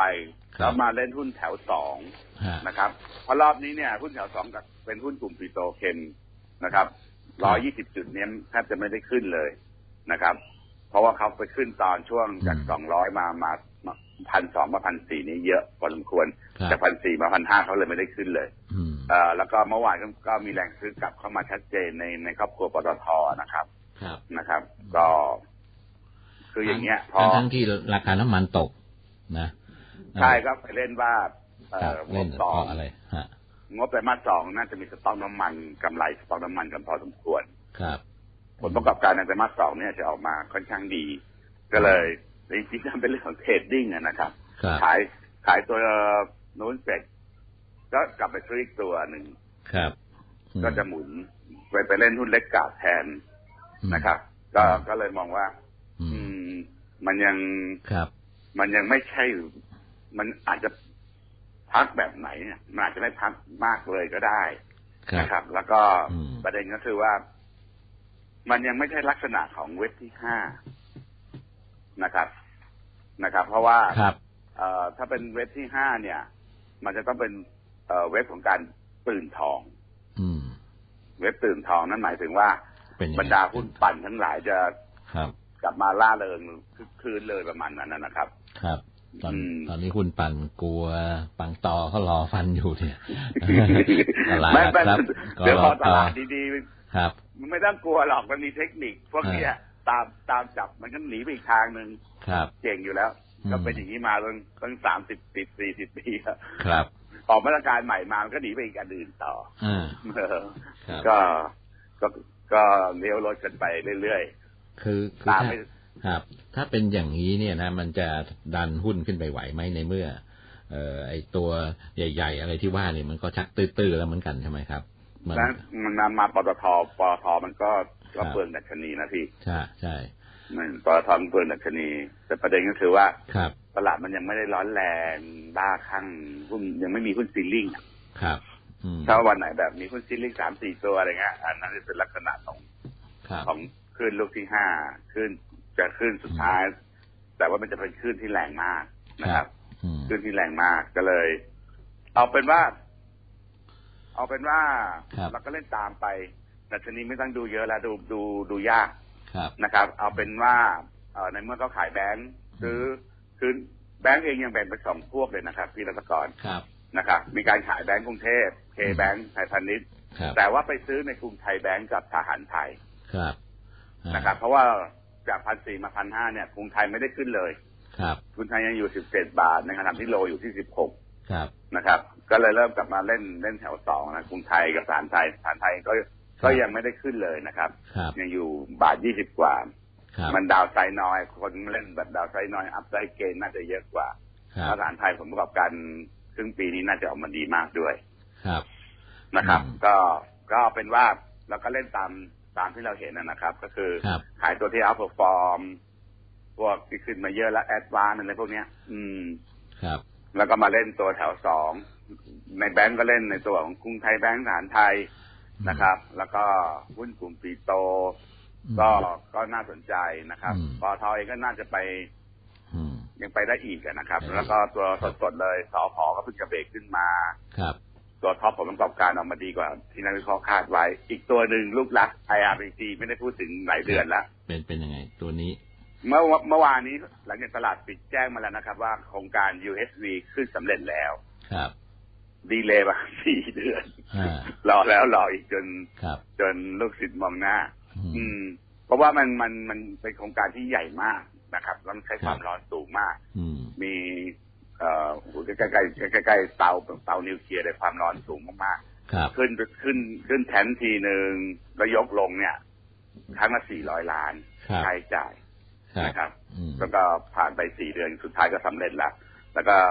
สำเร็จในวันที่สิบหกแล้วเขาก็รอดูจนโอเครันได้ร้อยเปอร์เซ็นต์แล้ว ก็เลยแจ้งตลาดหลักทรัพย์มาเมื่อเมื่อวานเย็น เพราะฉะนั้นราคาหุ้นวันจันทร์นี่คงครับคงล่าเริงนั่นแหละอืมสำหรับตัว RBC ครับครับ ก็สรุปแล้ว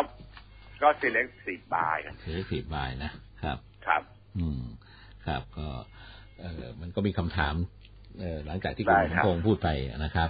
ก็เอาว่าอย่างนี้ก็บอกว่าหลายกลุ่มราคาทะยานขึ้นมามากแล้ว มีกลุ่มใด ตัวใดที่พอจะมีแกลบนะครับ ให้ให้เล่นบ้างผมว่าผมเข้าใจอย่างนั้นนะครับ ครับก็ก็เมื่อกี้นี่ที่ที่เรียนให้ทราบมาแล้วครับครับนะครับอืมก็พวกพวกธนาคารธนาคารก็ธนาคารกรุงไทยทหารไทยครับนะครับ แล้วก็กลุ่มปิโตรเคมี อืมครับครับกลุ่มครอบครัวปตทชอบตัวไหนก็ได้ อืมแต่ผมชอบ IRPC รอวันนี้มานานแล้ว ครับ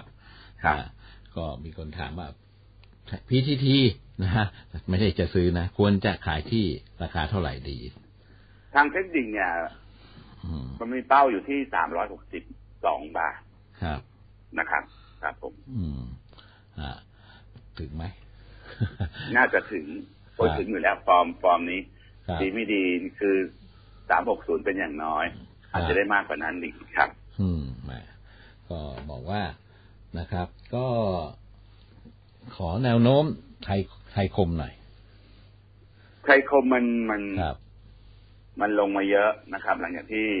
ทางการอืมคือก็ก็ก็งงนะครับเป็นสัญญาณกันเสร็จเรียบร้อยแล้วก็ยิงดาวเทียมขึ้นไปเรียบร้อยแล้วครับแล้วก็มาบอกว่า เออขอเปลี่ยนเป็นสัมปทานครับจะเปลี่ยนเป็นสัมปทานอะไรอย่างนี้นะครับอื มันก็เลยกดดันให้ราคาลงมาหนักเสร็จแต่ว่า short term เนี่ยก็มีสิทธิ์ rebound ครับนะครับ rebound ก็แนวต้านก็อยู่ใกล้ๆ24บาทครับแต่ก็ไม่แนะนำให้เล่นอะ เพราะว่าพอเป็นเรื่องของการเมืองเข้ามายุ่งแล้ว รอบที่แล้วหูยลงเละเลยครับนะฮะรอบรอบปฏิวัติปี49อะนะครับ ครับอืมลงไปลึกมากลึกลึกอย่างแบบสุดใจเลย คือไปเกี่ยวข้องกับการเมืองอะ นโยบายใช่ใช่จะยึดคืนดีไม่ยึดคืนดี ตั้งแต่สมัยนู่นแล้วครับ รัฐบาลประชาธิปัตย์อะไรเนี่ยนะครับ แต่ก็บอกว่ารวยตอนฮะตอนปี49ก็โดนไปทีหนึ่งครับตอนนั้นลงไปเหลือสองบาทครับก็รวยไปตามครับตามกันนะเออนะครับ ใครรวยไม่รู้นะครับ เออครับนวรัตน์พัฒนาฮะ NWR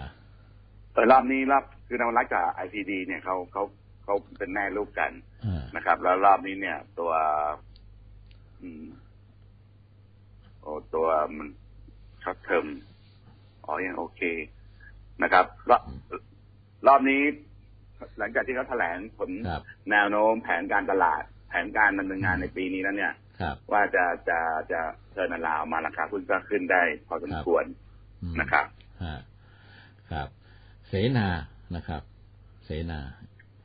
เสนาครับ S E N A กลุ่ม property นี่แอบขึ้นนะที่รัฐกรครับ นะครับเห็อันนี้ก็มีมีเดียมเดิมเป็นแนวโน้มขาขึ้นไปแล้วครับนะครับเอ่อแนาต้านก็อยู่ประมาณอืมอยู่ประมาณสามบาทเก้าสิบ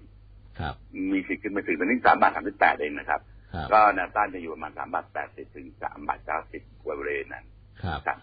เอ่อสเต็ก S T E C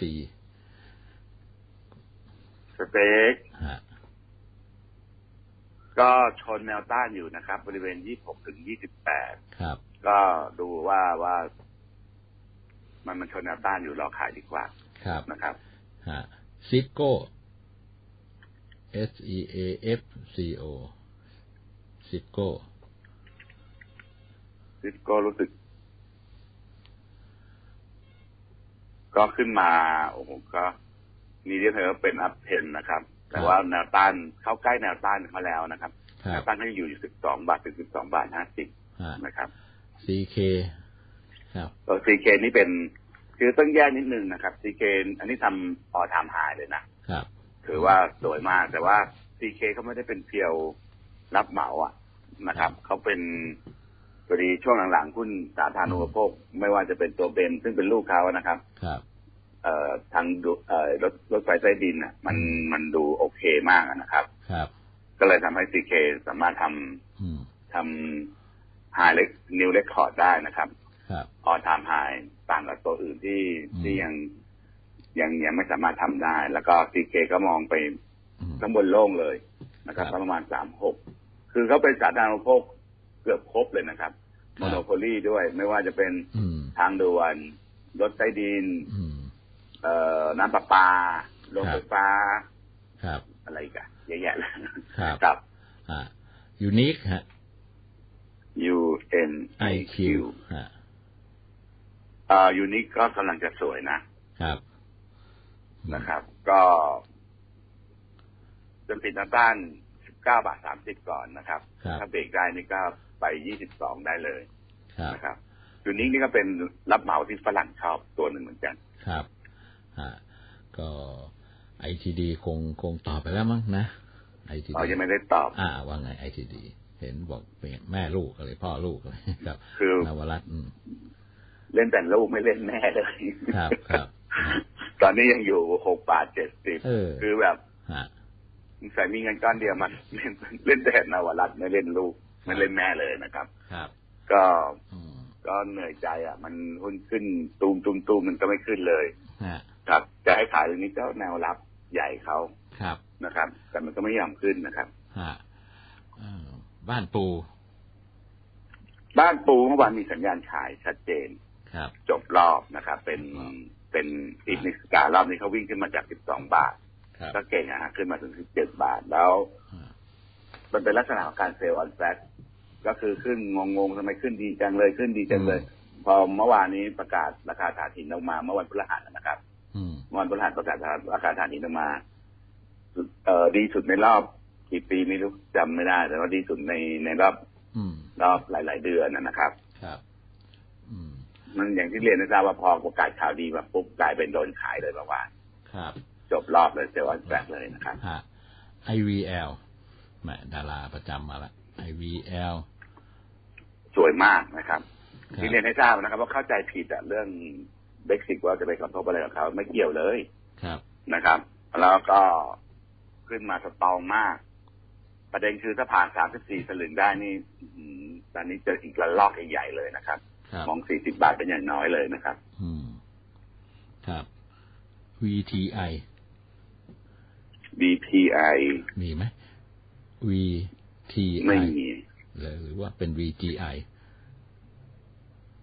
น่าจะ VGI มากกว่าอ่าขอขออภัยโหนี่ก็จบรอบเหมือนกันนะ Global Media ครับก็ขึ้นมาเยอะนะครับ ขึ้นมาจาก4บาท3บาทกว่า ขึ้นมาเป็น7บาทนี่เราร้อยเปอร์เซ็นแล้ว แล้วก็ครับทางเทคนิคก็มีดาบปักวิญญาณเทียบเลย อืม ครับครับดีแท็กกุ้มใจตัวดีภูมิใจนะก็คือเงินโคมโคมไม่ว่าจะเป็น True Advance ครับ คือผลประกอบการ ก็ยังยังย่ำแย่อยู่นะครับครับแล้วตอนนี้ได้พลิกอืมจะจะทิ้งมาเก็ตแชร์ให้ได้ ไปแจกเครื่องฟรีอีกอืมตรงนี้เนี่ยช็อตเทอมนักวิเคราะห์ก็มองมันก็เป็นต้นทุนอีกอะอืมครับฮะอืมทรูละฮะอ้าวทรูกุ้มใจไหมกุ้มใจขึ้นมาถูกถูกก็ ก็โอเวอร์บอลแล้วนะครับ เริ่มน่าเทคโปรฟิตได้แล้ว ครับนะครับ ครับ อืม AOT ฮะ AOT วอลุ่มก็เข้าเยอะนะครับ แต่ว่าราคาไม่ค่อยขึ้นแล้ว มันมันมันเหมือนมันฟูลี่แวลูแล้วครับบอกว่านะครับ เพราะว่าอืมมันขึ้นมาเยอะมากจากอืมร้อยกว่าบาทขึ้นมาจะสี่ร้อยแล้วคนสามถามร้อยเก้าสิบคนถามบอกว่าจะไม่ขึ้นเลยหรือ อืม ผมเข้าใจว่าอย่างนั้นนะแต่ในนี้เขาเขียนจะไม่มาเลยหรือเออผมว่าน่าจะถามเปลี่ยนว่าตัวเล่นเถอะเขามาตั้งเยอะแล้วอ่าไม่ใช่ไม่ไม่มาครับเขามาก่อนหน้าชาวบ้านเขาก็เยอะมากแล้วครับ ครับ TPCS ล่ะอะ TPCS ฮ่องกง TPCS อ่า S ฮ่องกงฮะไม่อ๋อตอนนี้ก็มีสัญญาณขายเหมือนกัน ครับนะครับ ก็อืม แนวรับก็อยู่ประมาณ16ถึง15ประมาณเนี้ยนะครับ ครับสัญญาณขายชัดเจนเป็นดาบปักเยอะเลยครับเนี่ยมันยากตรงนี้ที่รัฐกรตลาดครับขึ้นโคมๆแต่บางตัวก็ไม่ขึ้น บางตัวก็กำลังครับกำลังกำลังจบรอบอะไรอย่างเงี้ยนะครับบางตัวก็เพิ่งเพิ่งขายไปก่อนนั้นนั้นสักอาทิตย์หนึ่งมันมันมาขึ้นอะ ถือวัว่านนั้นถือมาเป็นปีเนี่ยเรียนให้ท่านผู้ฟังว่าจำเป็นนะครับเทคคนิรับคเนี่ยต้องต้องต้องมีความรู้หน่อยหนึ่ง นะครับ ไม่ใช้ความรู้สึกเล่นมันไม่ได้อะต้องดูดูแล้วก็เล่นตามครับว่าโอเคเขากำลังขึ้นเขาโอเคเขาจบรอบแล้วอะไรอย่างเงี้ยนะครับ ครับ อีกท่านหนึ่งบอก ช่วยถามทัสโก้หน่อย คุณสมพงษ์ทาสโกฮะ T A S C O มันก็โอเค short term ก็ก็ positive ว่าอาจจะขึ้นไป 28 บาทได้ครับก็แนะนำให้ให้เล่นเร็วอะนะครับ เพราะว่า ราคาเองก็ ก็ไม่ไม่ไม่ไม่ได้ดีเหมือนปีที่แล้วแล้วอะไรพวกนี้นะครับ ครับนะครับเอ่อความต้องการยางมะตอยมันอืมเหมือน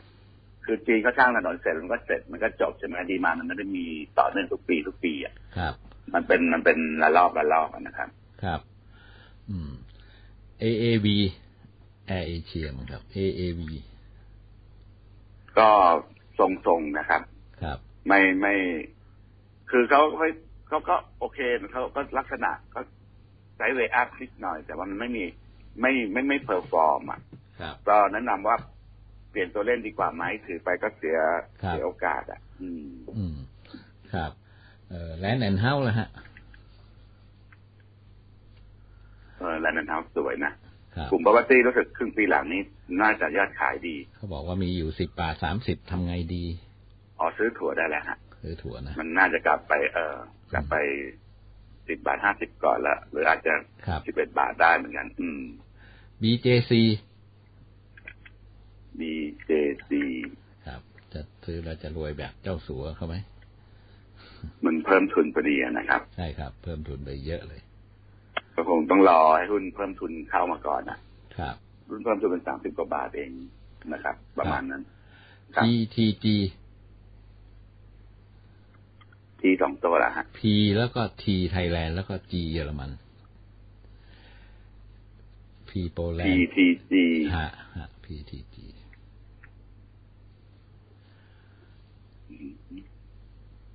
ครับโอ้โหอืมนะเห็นหุ้นตัวนี้ก็ hot hot ๆอยู่ใช่ไหมเห็นพูดกันเยอะปั๊มคือมันเป็นปั๊ม PT นะครับ ก็คือราคาหุ้นเนี่ยมันขึ้นมาในแง่ valuation แล้วแพงมากนะครับ แต่ว่า มันราคาหุ้นมันอืมเหมือนกับชอบกับแผนการตลาดเขาอะนะครับ ที่เขาอืมวางตำแหน่งขึ้นมา ตอนนี้ก็มาเก็ตแชร์ครับ รู้สึกจะเยอะกว่าคาเทคกันนะครับอืมมีอันดับสามอันดับสี่อะ อืมครับ แต่ราคาหุ้นก็ขึ้นแบบจากสี่บาทอะขึ้นมายี่สิบห้าบาทแล้ว ครับคุณสมพครับงษ์มีอยู่ก็เลทโปรฟิตลันนะแต่ว่าไม่มีก็อย่าไปยุ่งของเขาเลย ครับ ถ้า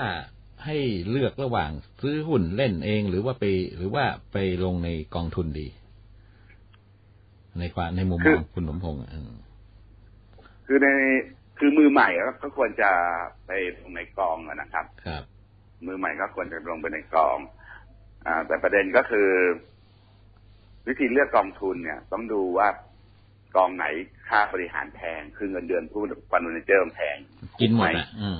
เออมันจะจะจะคุ้มไหมกับ return ที่เขาทำแล้วครับส่วนใหญ่เนี่ย ไม่ค่อยเห็นกองไหนชนะตลาดเท่าไหร่เลยครับอืมนะครับ เพราะฉะนั้นถ้าเล่นเอง เล่นเองก็ดีอย่าง แต่ก็เสียอย่างเหมือนกัน มันก็ มันก็ยากเหมือนกันนะครับสำหรับอืมคือนักลงทุนต้องมีวินัยการลงทุนสูงอะ อืมครับ ซื้อเป็นซื้อขายเป็นขายอะครับ อืม มีคำถามสุดท้ายเข้ามาก็แล้วกันนะครับ วันนี้คำถามเยอะจริงๆนะครับ ทิสโก้ควรขายที่เท่าไหร่ทิสโก้เอ่อแบงค์ใช่ไหมครับทิสโก้แบงค์นะครับผมเข้าใจว่าทิสโก้ฮะ คือบริษัทที่อ่าแบงก์อะธนาคารทิสโก้ แต่เขามีครับหุ้นอะไรของเขานี่ใช่ไหมเป็นคนกำกับเป็นโบรกเกอร์ด้วยอ่าอืมทิสโก้ฮะอ๋อจบรอบไปแล้วมันมีดับปักวิญญาณไปแล้วตอนวันครับ ขึ้นไปห้าสิบหกบาท อืม ครับ ก็น่าจะเทคโปรฟิตได้แล้วแหละ อืม ครับครับฮะ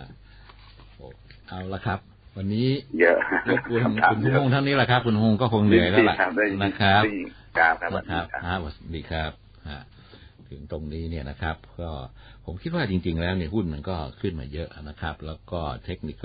ก็อยู่ในภาวะที่โอเวอร์บอทเนี่ยนะครับ การที่จะไป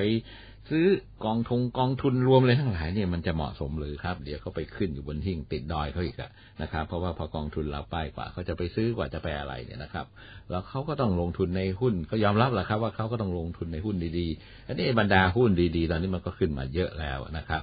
นะครับเออพอคุณไปลงมันก็ติดดอยติดอะไรกัน ก็เหมือนอย่างขณะนี้นะครับ ที่สถาบันนะฮะ ในประเทศเนี่ยนะครับโอ้โหตั้งแต่มกราถึงวันที่22กรกฎาคมที่ผ่านมานะครับ ก็ขายไปมากกว่าซื้อนะครับ เกือบหนึ่งหมื่นล้านบาท ผมเข้าใจว่าเนี่ย พวกนี้ก็ติดหุ้นมานานแล้วครับ พอขายไปนะครับ พอขึ้นมาเริ่มมีกำไรก็เริ่มมาขายก็ติดกันมาห้าปีหกปีอะไรเนี่ยนะครับฮะพอขายไปนะครับหุ้นมันก็ขึ้นนะครับก็ไม่ได้กำไรอะไรนะครับ เพราะฉะนั้นเนี่ยเออนะฮะก็ผมมองดูว่ากองทุนเนี่ยบริหารหุ้นของเมืองไทยเนี่ยนะเกินไม่ถึงอะ ผิดทิศผิดทางมาตลอดนะครับ เพราะฉะนั้นมันตอนนี้หุ้นมันก็ขึ้นมาเยอะ ผมว่ารอหน่อยดีไหมการซื้อกองทุนเนี่ยมันเหมือนกับว่าไฟบังคับนะไฟบังคับก็คือว่าหนึ่งคุณไม่มีเวลาเล่นหุ้นสองเนี่ย คุณก็ต้องการที่จะเสียภาษีได้เครดิตภาษีนะฮะเสียภาษีน้อยลง จากรายได้ที่คุณมีเยอะนะครับ ก็ยังมีเวลารอนะ ผมมาไปรอในงาน Thailand Smart Money ธันวาคมดีกว่า ถึงตรงนั้นแหละครับ มันก็เหมือนกับขีดเส้นว่าเฮ้ยไม่ลงตรงนี้เนี่ยนะ มันก็ นะอาจจะหมดเวลาแล้วอะไรเงี้ยผมว่าไปรอรอตรงนั้นดีกว่าไหมนะครับเขาซื้อไปตอนนี้เดี๋ยวก็ติดยอดดอยติดอะไรกัน แล้วก็นะครับ ก็นันวันเดือนเดือนก็เขาส่งรายงานมาดูแล้วก็บ่นด้วยความผิดหวังนะครับเพราะฉะนั้นตอนนี้ผมว่าอย่าไปสนใจเลยพวกกองทุนอะไรทั้งหลายนะครับ เก็บเงินเอาไว้ดีกว่าสะสมเผื่อจะมีอะไรดีกว่านั้นนะครับอะช่วงนี้เราพักดีกว่านะครับเสี่ยงเศรษฐกิจดำเนินรายการโดย รัชกรอัสดรธีรยุทธพิชาภาสักมังกร และทีมข่าวหนังสือพิมพ์ดอกเบี้ยธุรกิจ สนับสนุนโดยพฤกษาเรียลเอสเตทคิดสร้างสรรค์คุณค่าเพื่อลูกค้าพบโครงการคุณภาพ บ้าน คอนโด ทาวน์เฮาส์ หลากหลายทำเล สอบถามเพิ่มเติมโทร 1739 หรือ www. พฤกษา .com AIS 4G Advance พิสูจน์แล้วแรงที่สุดทั่วไทย SCB พร้อมเพย์ให้คุณรับและโอนเงินได้ง่าย สะดวกปลอดภัย ข้อมูลเพิ่มเติม 02 777 7777 เข้าสู่ช่วงสุดท้ายของรายการเซียนเศรษฐกิจนะครับ ประจำวันเสาร์ที่ 23 กรกฎาคมนะครับตลาดหุ้นทั่วโลกก็เดินหน้านะครับ ทำนิวไฮกันนะครับบ้างเล็กๆ น้อย ๆ หรือมากอะไรเนี่ยนะครับ ก็ถือว่ายังอยู่ในภาวะที่โดยรวมมีเสถียรภาพนะครับ ขณะที่ตลาดหุ้นไทยนะครับ สัปดาห์ที่ผ่านมาเปิดทำการนะครับสามวันนะครับ พุธพฤหัสศุกร์ก็ถือว่าเออฟอร์มยังดีนะครับเออขึ้นมาอยู่ในนะครับ ภาวะที่เป็นบวกมากกว่าลบนะครับ แม่เมื่อวานผมนั่งดูอยู่ทีแรกก็คิดว่าแย่แล้ววันศุกร์นะครับ ผมอยู่ต่างจังหวัดนะครับ ก็ส่งใจเชียร์มาที่เนี่ยนะครับ ทีแรกก็เห็นลบไปนะครับ แต่สุดท้ายก็พรวดขึ้นมานะครับ ปิดที่ 1,509 จุดนะครับ ก็บวกไป 6 จุดนะครับ ก็ถือว่าได้แรงนะครับ ดันจากฟันโฟของต่างประเทศที่เข้ามาไม่หยุดนะครับ ก็คือขณะนี้ก็ต้องยอมรับนะครับว่าต่างชาติเนี่ยเดินหน้าลุยซื้อหนักนะครับ เฉพาะวันเมื่อวานก็ ซื้อบวกไปนะครับ 2,000 กว่าล้านบาทนะครับเเดือนกรกฎาคมนะครับตั้งแต่วันที่1ถึง22 นะครับ ยกเว้นวันหยุดก็ต่างประเทศก็ซื้อสุทธิไปแล้วนะครับ 31,000 กว่าล้านบาทนะครับ ถ้าพูดถึงว่าตั้งแต่ 1 มกราถึง 22 กรกฎาคมต่างชาติก็ซื้อไปแล้วเกือบ70,000ล้านบาทนะครับเราจะในสัปดาห์ที่ผ่านมาแหมผมอ่านข่าวข่าวหนึ่งแล้วก็ต้องเรียนผู้ฟังว่าผมประทับใจมากนะครับ ในฐานะที่เป็นคนหนึ่งที่อยู่ในตลาดหุ้นแล้วครับ ตั้งแต่เปิดวันแรกนะครับจนถึงถึงวันนี้แล้วครับ ก็ตลาดหลักทรัพย์ก็จะจัดงานอันหนึ่งนะครับ ซึ่งน่าสนใจมากทีเดียวสำหรับในภาวะสังคมโซเชียลมีเดียขนาดนี้นะครับ ก็ ก็เดิมๆแล้วก็คงบอกว่าคุณต้องมีกู๊ดก็ปนะนะฮะก็คือมีธรรมาภิบาลนะครับ กิจการคุณต้องมี CSR เออต้องต้องมีความช่วยเหลือสังคม ต้องรับผิดชอบต่อสังคมนะครับ แต่ต่อมาเราก็จะได้เริ่มนะครับ พูดถึงว่าเฮ้ยมันต้องมี ESG นะครับด้วยนะ เพื่อนะครับคือ ESG ก็คือ environment นะครับ social governance นะครับด้วยนะครับก็คืออ่ามันเป็นยังไงก็หลังนะครับ นอกจากนั้นก็ยังตลาดหลักทรัพย์ก็ประกาศจะจัดงานนะครับเซตนะครับเซตก็คือตลาดหลักทรัพย์นี่แหละครับ Social Impact นะฮะครับก็แหมก็เรียกว่ามหกรรมความดีนะตั้งชื่อก็เท่นะครับ SET Social Impactเดย์ 2016 ครับ ก็นะครับในวันที่ 28 กรกฎาคมนี้นะครับ ก็ถือว่าใช้ได้ทีเดียวนะครับ ในภาวะที่ตลาดหลักทรัพย์เนี่ยกำลังนะครับได้รับความสนใจนะครับเราจะไปคุยกับคนที่นะเป็นโต้โผใหญ่นะฮะดูแลเรื่องนี้นะครับ คุณ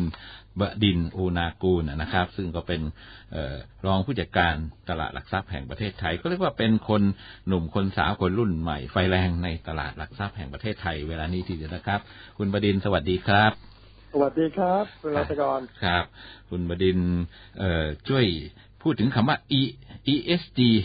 นะแม่มันเป็นยังไงครับ มีความสำคัญอย่างไรครับ ในในฐานะที่เราอยู่ตลาดหลักทรัพย์เนี่ย ESG นะฮะครับ ESG อะมันมาจากอ่า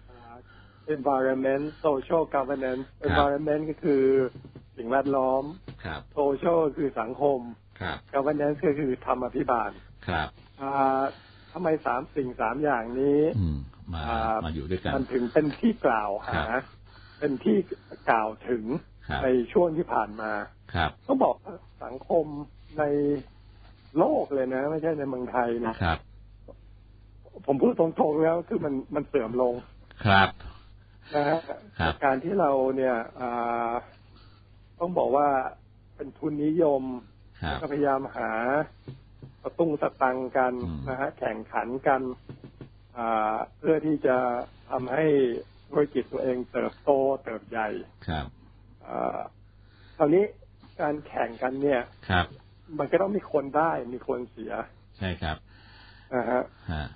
ถ้าเกิดเราได้เนี่ย ต้องมีคนเสียครับ มันก็เลยมานั่งคิดดูแล้วเวลาเสียมันเสียได้ก็สามอย่างเนี่ยหนัก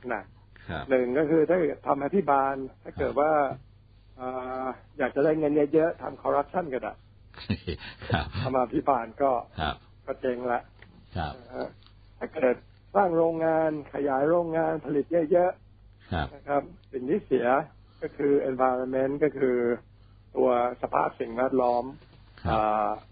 จะแย่ลง นะครับ โลกร้อนเราได้ยินมาช่วงหลังครัๆบอากาศแปรปรวนวิปริตครับครับครับ แล้วก็อันที่สามโซเชียลนะฮะโซเชียลนี่ก็สังคมครับนะฮะแข่งแย่งชิงดีชิงเด่นอืมนะฮะอ่าที่บอกว่าทุกอย่างอ่าสังคมเหลื่อมล้ำนะฮะมีคนรวยเยอะ มีคนจนเยอะครับที่นั้นสามตัวใหญ่ ๆ หลัก ๆ นี่เลยเนี่ยทำให้อ่า ประเทศชาติหรือว่าต้องบอกว่าทั้งโลกเลยครับมันกำลังเสื่อมเสื่อมลงอืมถดถอยลงอืมแต่ก็เป็นสิ่งที่โชคดีฮะเพราะว่าผมเห็นว่าครับทุกคนเริ่มตระหนักในเรื่องนี้แล้วก็หันกลับมาครับอ่าคุยเรื่องเนี้ยตั้งแต่ครับสมัยอัลกอร์เลย ผมจำได้นะฮะรองประธานาธิบดีไวส์ประธานของอเมริกาอเมเนี่ยริกาครับแล้วก็บอกว่า เอ้ยเนี่ย climate change นะโคโลกเหนือละลายครับ น้ำท่วมอะไรทั้งหลายฮะแต่หลังจากนั้นมาเนี่ย ก็ต้องบอกว่าคนทั้งหลายในโลกเนี่ยก็เริ่มเริ่ม ให้ความสนใจกับเรื่องนี้เยอะขึ้น ครับเด็กรุ่นใหม่ ๆ ที่เห็น ก็ให้ความสนใจเรื่องนี้นะฮะ ถึงมีครับเรียกว่า social enterprise เกิดขึ้นคือธุรกิจเพื่อสังคมอืมครับ ยุคยุคสมัยเราเนี่ย มันแบบธุรกิจเพื่อกำไร ครับ อันนี้เราเรียนหนังสือมาเลยเราเนี่ยผมก็ไปเรียนเมืองนอกเนี่ย ก็ครับ เขาก็บอกเฮ้ยทำธุรกิจอืมเป็น business 101ครับทำสตังค์อืมก็ก็ถูกไม่ผิดครับอันนี้มันก็กลับมาเมื่อกี้นะได้อย่างเสียอย่าง ถ้าผมถ้าผมได้ก็มีคนเสียครับอันนี้รุ่นใหม่ ๆ เนี่ยเขาตระหนักเรื่องนี้เยอะขึ้นครับนะฮะเพราะว่าผลกระทบมันเริ่มแสดงให้เห็นครับอ่าภูเขาหัวโล้นที่เราบอกนะฮะครับน้ำท่วมครับอ่า สังคมแย่ลงฝนไม่ตกนะ สังคมแย่ลงครับฮะครับครับกรมราชทัณฑ์อะไรทั้งหลายนี่ก็คือครับตอนนี้เราต้องมาร่วมด้วยช่วยกันครับว่าเราทำอย่างไงนะฮะที่ครับจะทำให้อืมทั้งโลกนี้คือสังคม เอาประเทศไทยก่อนก็ได้ เราพูดแค่เล็กๆส่วนเล็ก ๆ ในโลกเนี่ยครับให้มันดีขึ้นฮะนะฮะมั่งคั่งอ่ายั่งยืนเนี่ยนะครับอืมมั่นคงยั่ง ครับมั่งคั่งยั่งยืนเนี่ยคำว่ายั่งยืนตรงนั้นน่ะหมายความว่ายังไง ครับนะฮะไม่อันนี้มันก็มาจากสองส่วนอืมส่วนแรกเอาง่ายครับๆอ่ามีอยู่หกร้อยกว่าบริษัทในตลาดหลักทรัพย์ครับ เราก็คุยกับพวกบจเนี่ย ที่อยู่ในตลาดหลักทรัพย์แล้วบอกว่าเฮ้ยขอถามจริงๆคือผมอยากได้หุ้นที่มีคุณภาพนะครับหุ้นหกร้อยกับตัวที่อยู่ในบริษัทหลักทรัพย์ไม่ได้ อยากจะให้เข้ามา แล้วพรุ่งนี้แบบบายบายให้เจอกันอืมเพราะอะไรล้มหายตายจากครับนะฮะเราต้องการหุ้นที่แบบเป็นหุ้นที่มีคุณภาพหุ้นที่เป็นหุ้นที่ดีครับนะฮะอ่าแล้วแล้วแล้วก็ต้องบอกว่าที่ผ่านมาหุ้นไทยทำได้ดีพอสมควรเลยนะครับ ครับอ่าอย่างที่คงจะเห็นเป็นข่าวแล้วนะว่าครับหุ้นไทยเนี่ย ได้ติดอันดับโลกใน DJSI Dow Jones Sustainability Index ครับนะฮะก็เป็นหุ้นยั่งยืนน่ะ ของโลกเนี่ย ครับ13ตัวเลย ครับ ซึ่งเยอะที่สุดในอาเซียนฮะครับอืมทางด้านของธรรมาภิบาลเราดีที่สุดในอาเซียนอีกเหมือนกัน ครับ เพราะฉะนั้นเนี่ย อันนี้เป็นจุดขายของครับตลาดหลักทรัพย์ไทยได้หุ้นไทยเวลาออกไปโรดโชว์หรือว่าอินครับไม่ว่าจะเอาบาวอินดาวครับบอกว่าเฮ้ยเนี่ยหุ้นเราเนี่ยอืม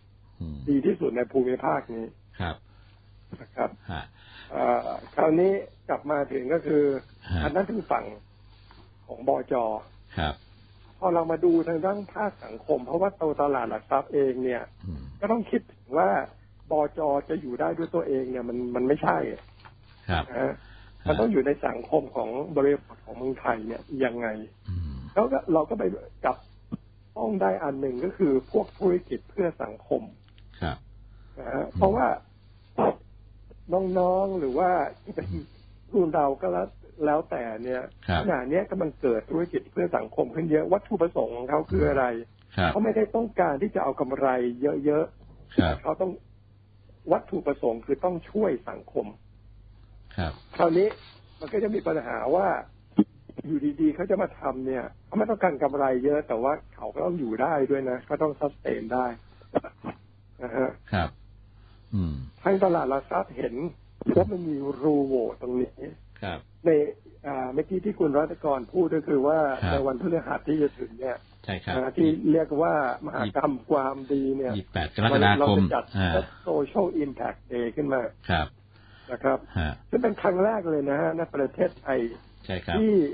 จะมีการจัดงานเพื่อเชื่อมโยงระหว่างองค์กรของภาคตลาดทุนครับ ที่เรียกว่า capital market เนี่ยอืมควบคู่ไปกับกิจการเพื่อสังคมอืมอันละสองอย่างนี้มันไม่ไปด้วยกันนะครับครับองค์กรภาคตลาดทุนก็บอกฉันเอาตังค์อะฉันจะก็ต้องทำกำไรมาก่อนถูกอ่าครับนะฮะอีกฝั่งหนึ่งบอกฉันทำเพื่อสังคมครับถ้าเป็นในแต่ก่อนนี่ครับ ที่เราเคยเคยรู้ มันก็บอกทำเพื่อสังคมก็เสียสตังค์อะสิครับอืม นะฮะใช่ประครักับนก็เสียสิอ่าแต่เรากำลังจะพยายามเชื่อมโยงสองสอง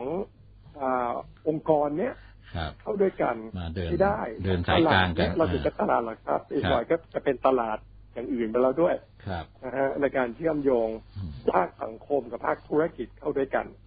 ครับนะฮะถ้าฮะสองอย่างไปได้เนี่ย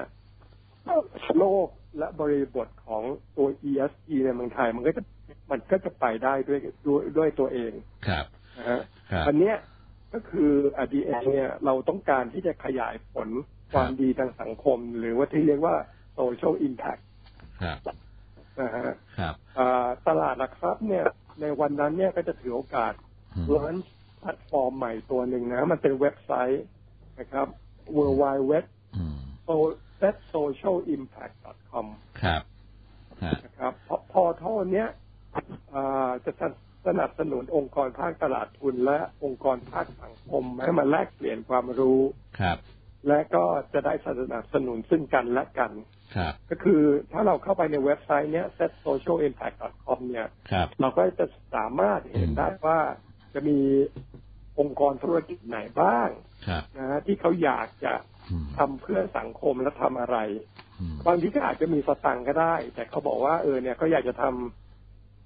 อะไรเพื่อสังคมบ้างครับนะครับ อีกฝั่งหนึ่งเราก็จะเห็นองค์กรเพื่อธุรกิจเอ้ยครับเพื่อสังคมเยอะแยะเลยนะครับครับอืมที่กำลังต้องการบางสิ่งบางอย่าง ไม่ว่าอาจจะเป็นอืมอ่า know how คือความรู้ครับหรืออาจจะต้องการงานนะฮะครับอ่าเขาหรือต้องการทุนสองอย่างในพอโทษนั้นเนี่ยครัมันบสามารถจับแมทช์กันได้มาเจอกันออฟแอนออนไลน์ครับนะฮะ เพราะต่างคนต่างมาเหมือนถึงว่าครับแสดงจำนงอะครับเจตจำนงว่าตัวเองเนี่ยฉันมีนี่นี่นี่นะครับ ฉันอยากจะให้อันนี้อีกฝั่งนึงก็ฉันมีนี่นี่นี่นี่นะฉันครับอยากจะได้อันนี้อ่ามามามาพบกันอ่านนะครับคครัรับบเอาละครับ คุณประดินวันนี้ขอบคุณคุณประดินมากนะครับ เดี๋ยวผมจะช่วย PR ให้กันละกันนะครับพรุ่งนี้อีกขวัอบนคุณนะมากครับครับคุณรัตกรแล้วครับเจอกันที่ตเจอลาดกันนะครับ ได้ครับ สวัสดีครับ คุณบดินขอบคุณภูครันาบกุลนะครับ รองผู้จัดการตลาดหลักทรัพย์แห่งประเทศไทยนะครับ ก็เรียกว่าตลาดหลักทรัพย์แห่งประเทศไทยนะครับ ขอเชิญบริษัทจดทะเบียนเครือข่ายภาคธุรกิจ กิจการเพื่อสังคมและผู้สนใจเข้าร่วมงานนะครับ มหกรรมความดีแหมเห็นชื่อก็น่าไปแล้วนะครับ Set Social Impact Day 2016 นะครับ เปิดโลกเชื่อมโยงการสร้างความยั่งยืนในกระบวนการภาคธุรกิจและคุณภาพชีวิตชุมชนนะครับกระบวนการสร้าง ธุรกิจเพื่อสังคมคุณภาพครั้งแรกในประเทศไทยนะครับ ก็มีโอ้ดังๆนั่นแล้วล่ะครับ มีชื่อต่างๆมากมายนะครับพร้อมกับเปิดเว็บไซต์นะครับ แพลตฟอร์มใหม่ล่าสุดนะครับ w w w set social impact นะครับ com นะฮะก็เปิดเข้ามาดูได้นะครับ พบกันก็แล้วกันนะครับ ในวันที่ 28 กรกฎาคมนี้ เวลา 9 โมงเช้าถึง 5 โมงเย็นนะครับ ที่อาคารตลาดหลักทรัพย์นะครับเออเขาเดี๋ยวนี้เขาไปอยู่ตรงรัชดาแล้วนะครับ ลงทะเบียนและติดตามข้อมูลเพิ่มเติมได้นะครับฮะก็เปิดเว็บดูก็แล้วกันนะครับฮะหรือนะครับ โทรที่นะครับเซต contact center นะครับ 02009 แล้วก็ 9 อีก 4 ตัว 9999 นะครับอ่า02009 แล้วก็ 999 นะครับ อีกสี่ตัวนะครับ ก็ลองหารายละเอียดดู วันนี้ลากันด้วยเวลาทีนี้เท่านี้กลับมาพบกันใหม่พรุ่งนี้ สวัสดีครับ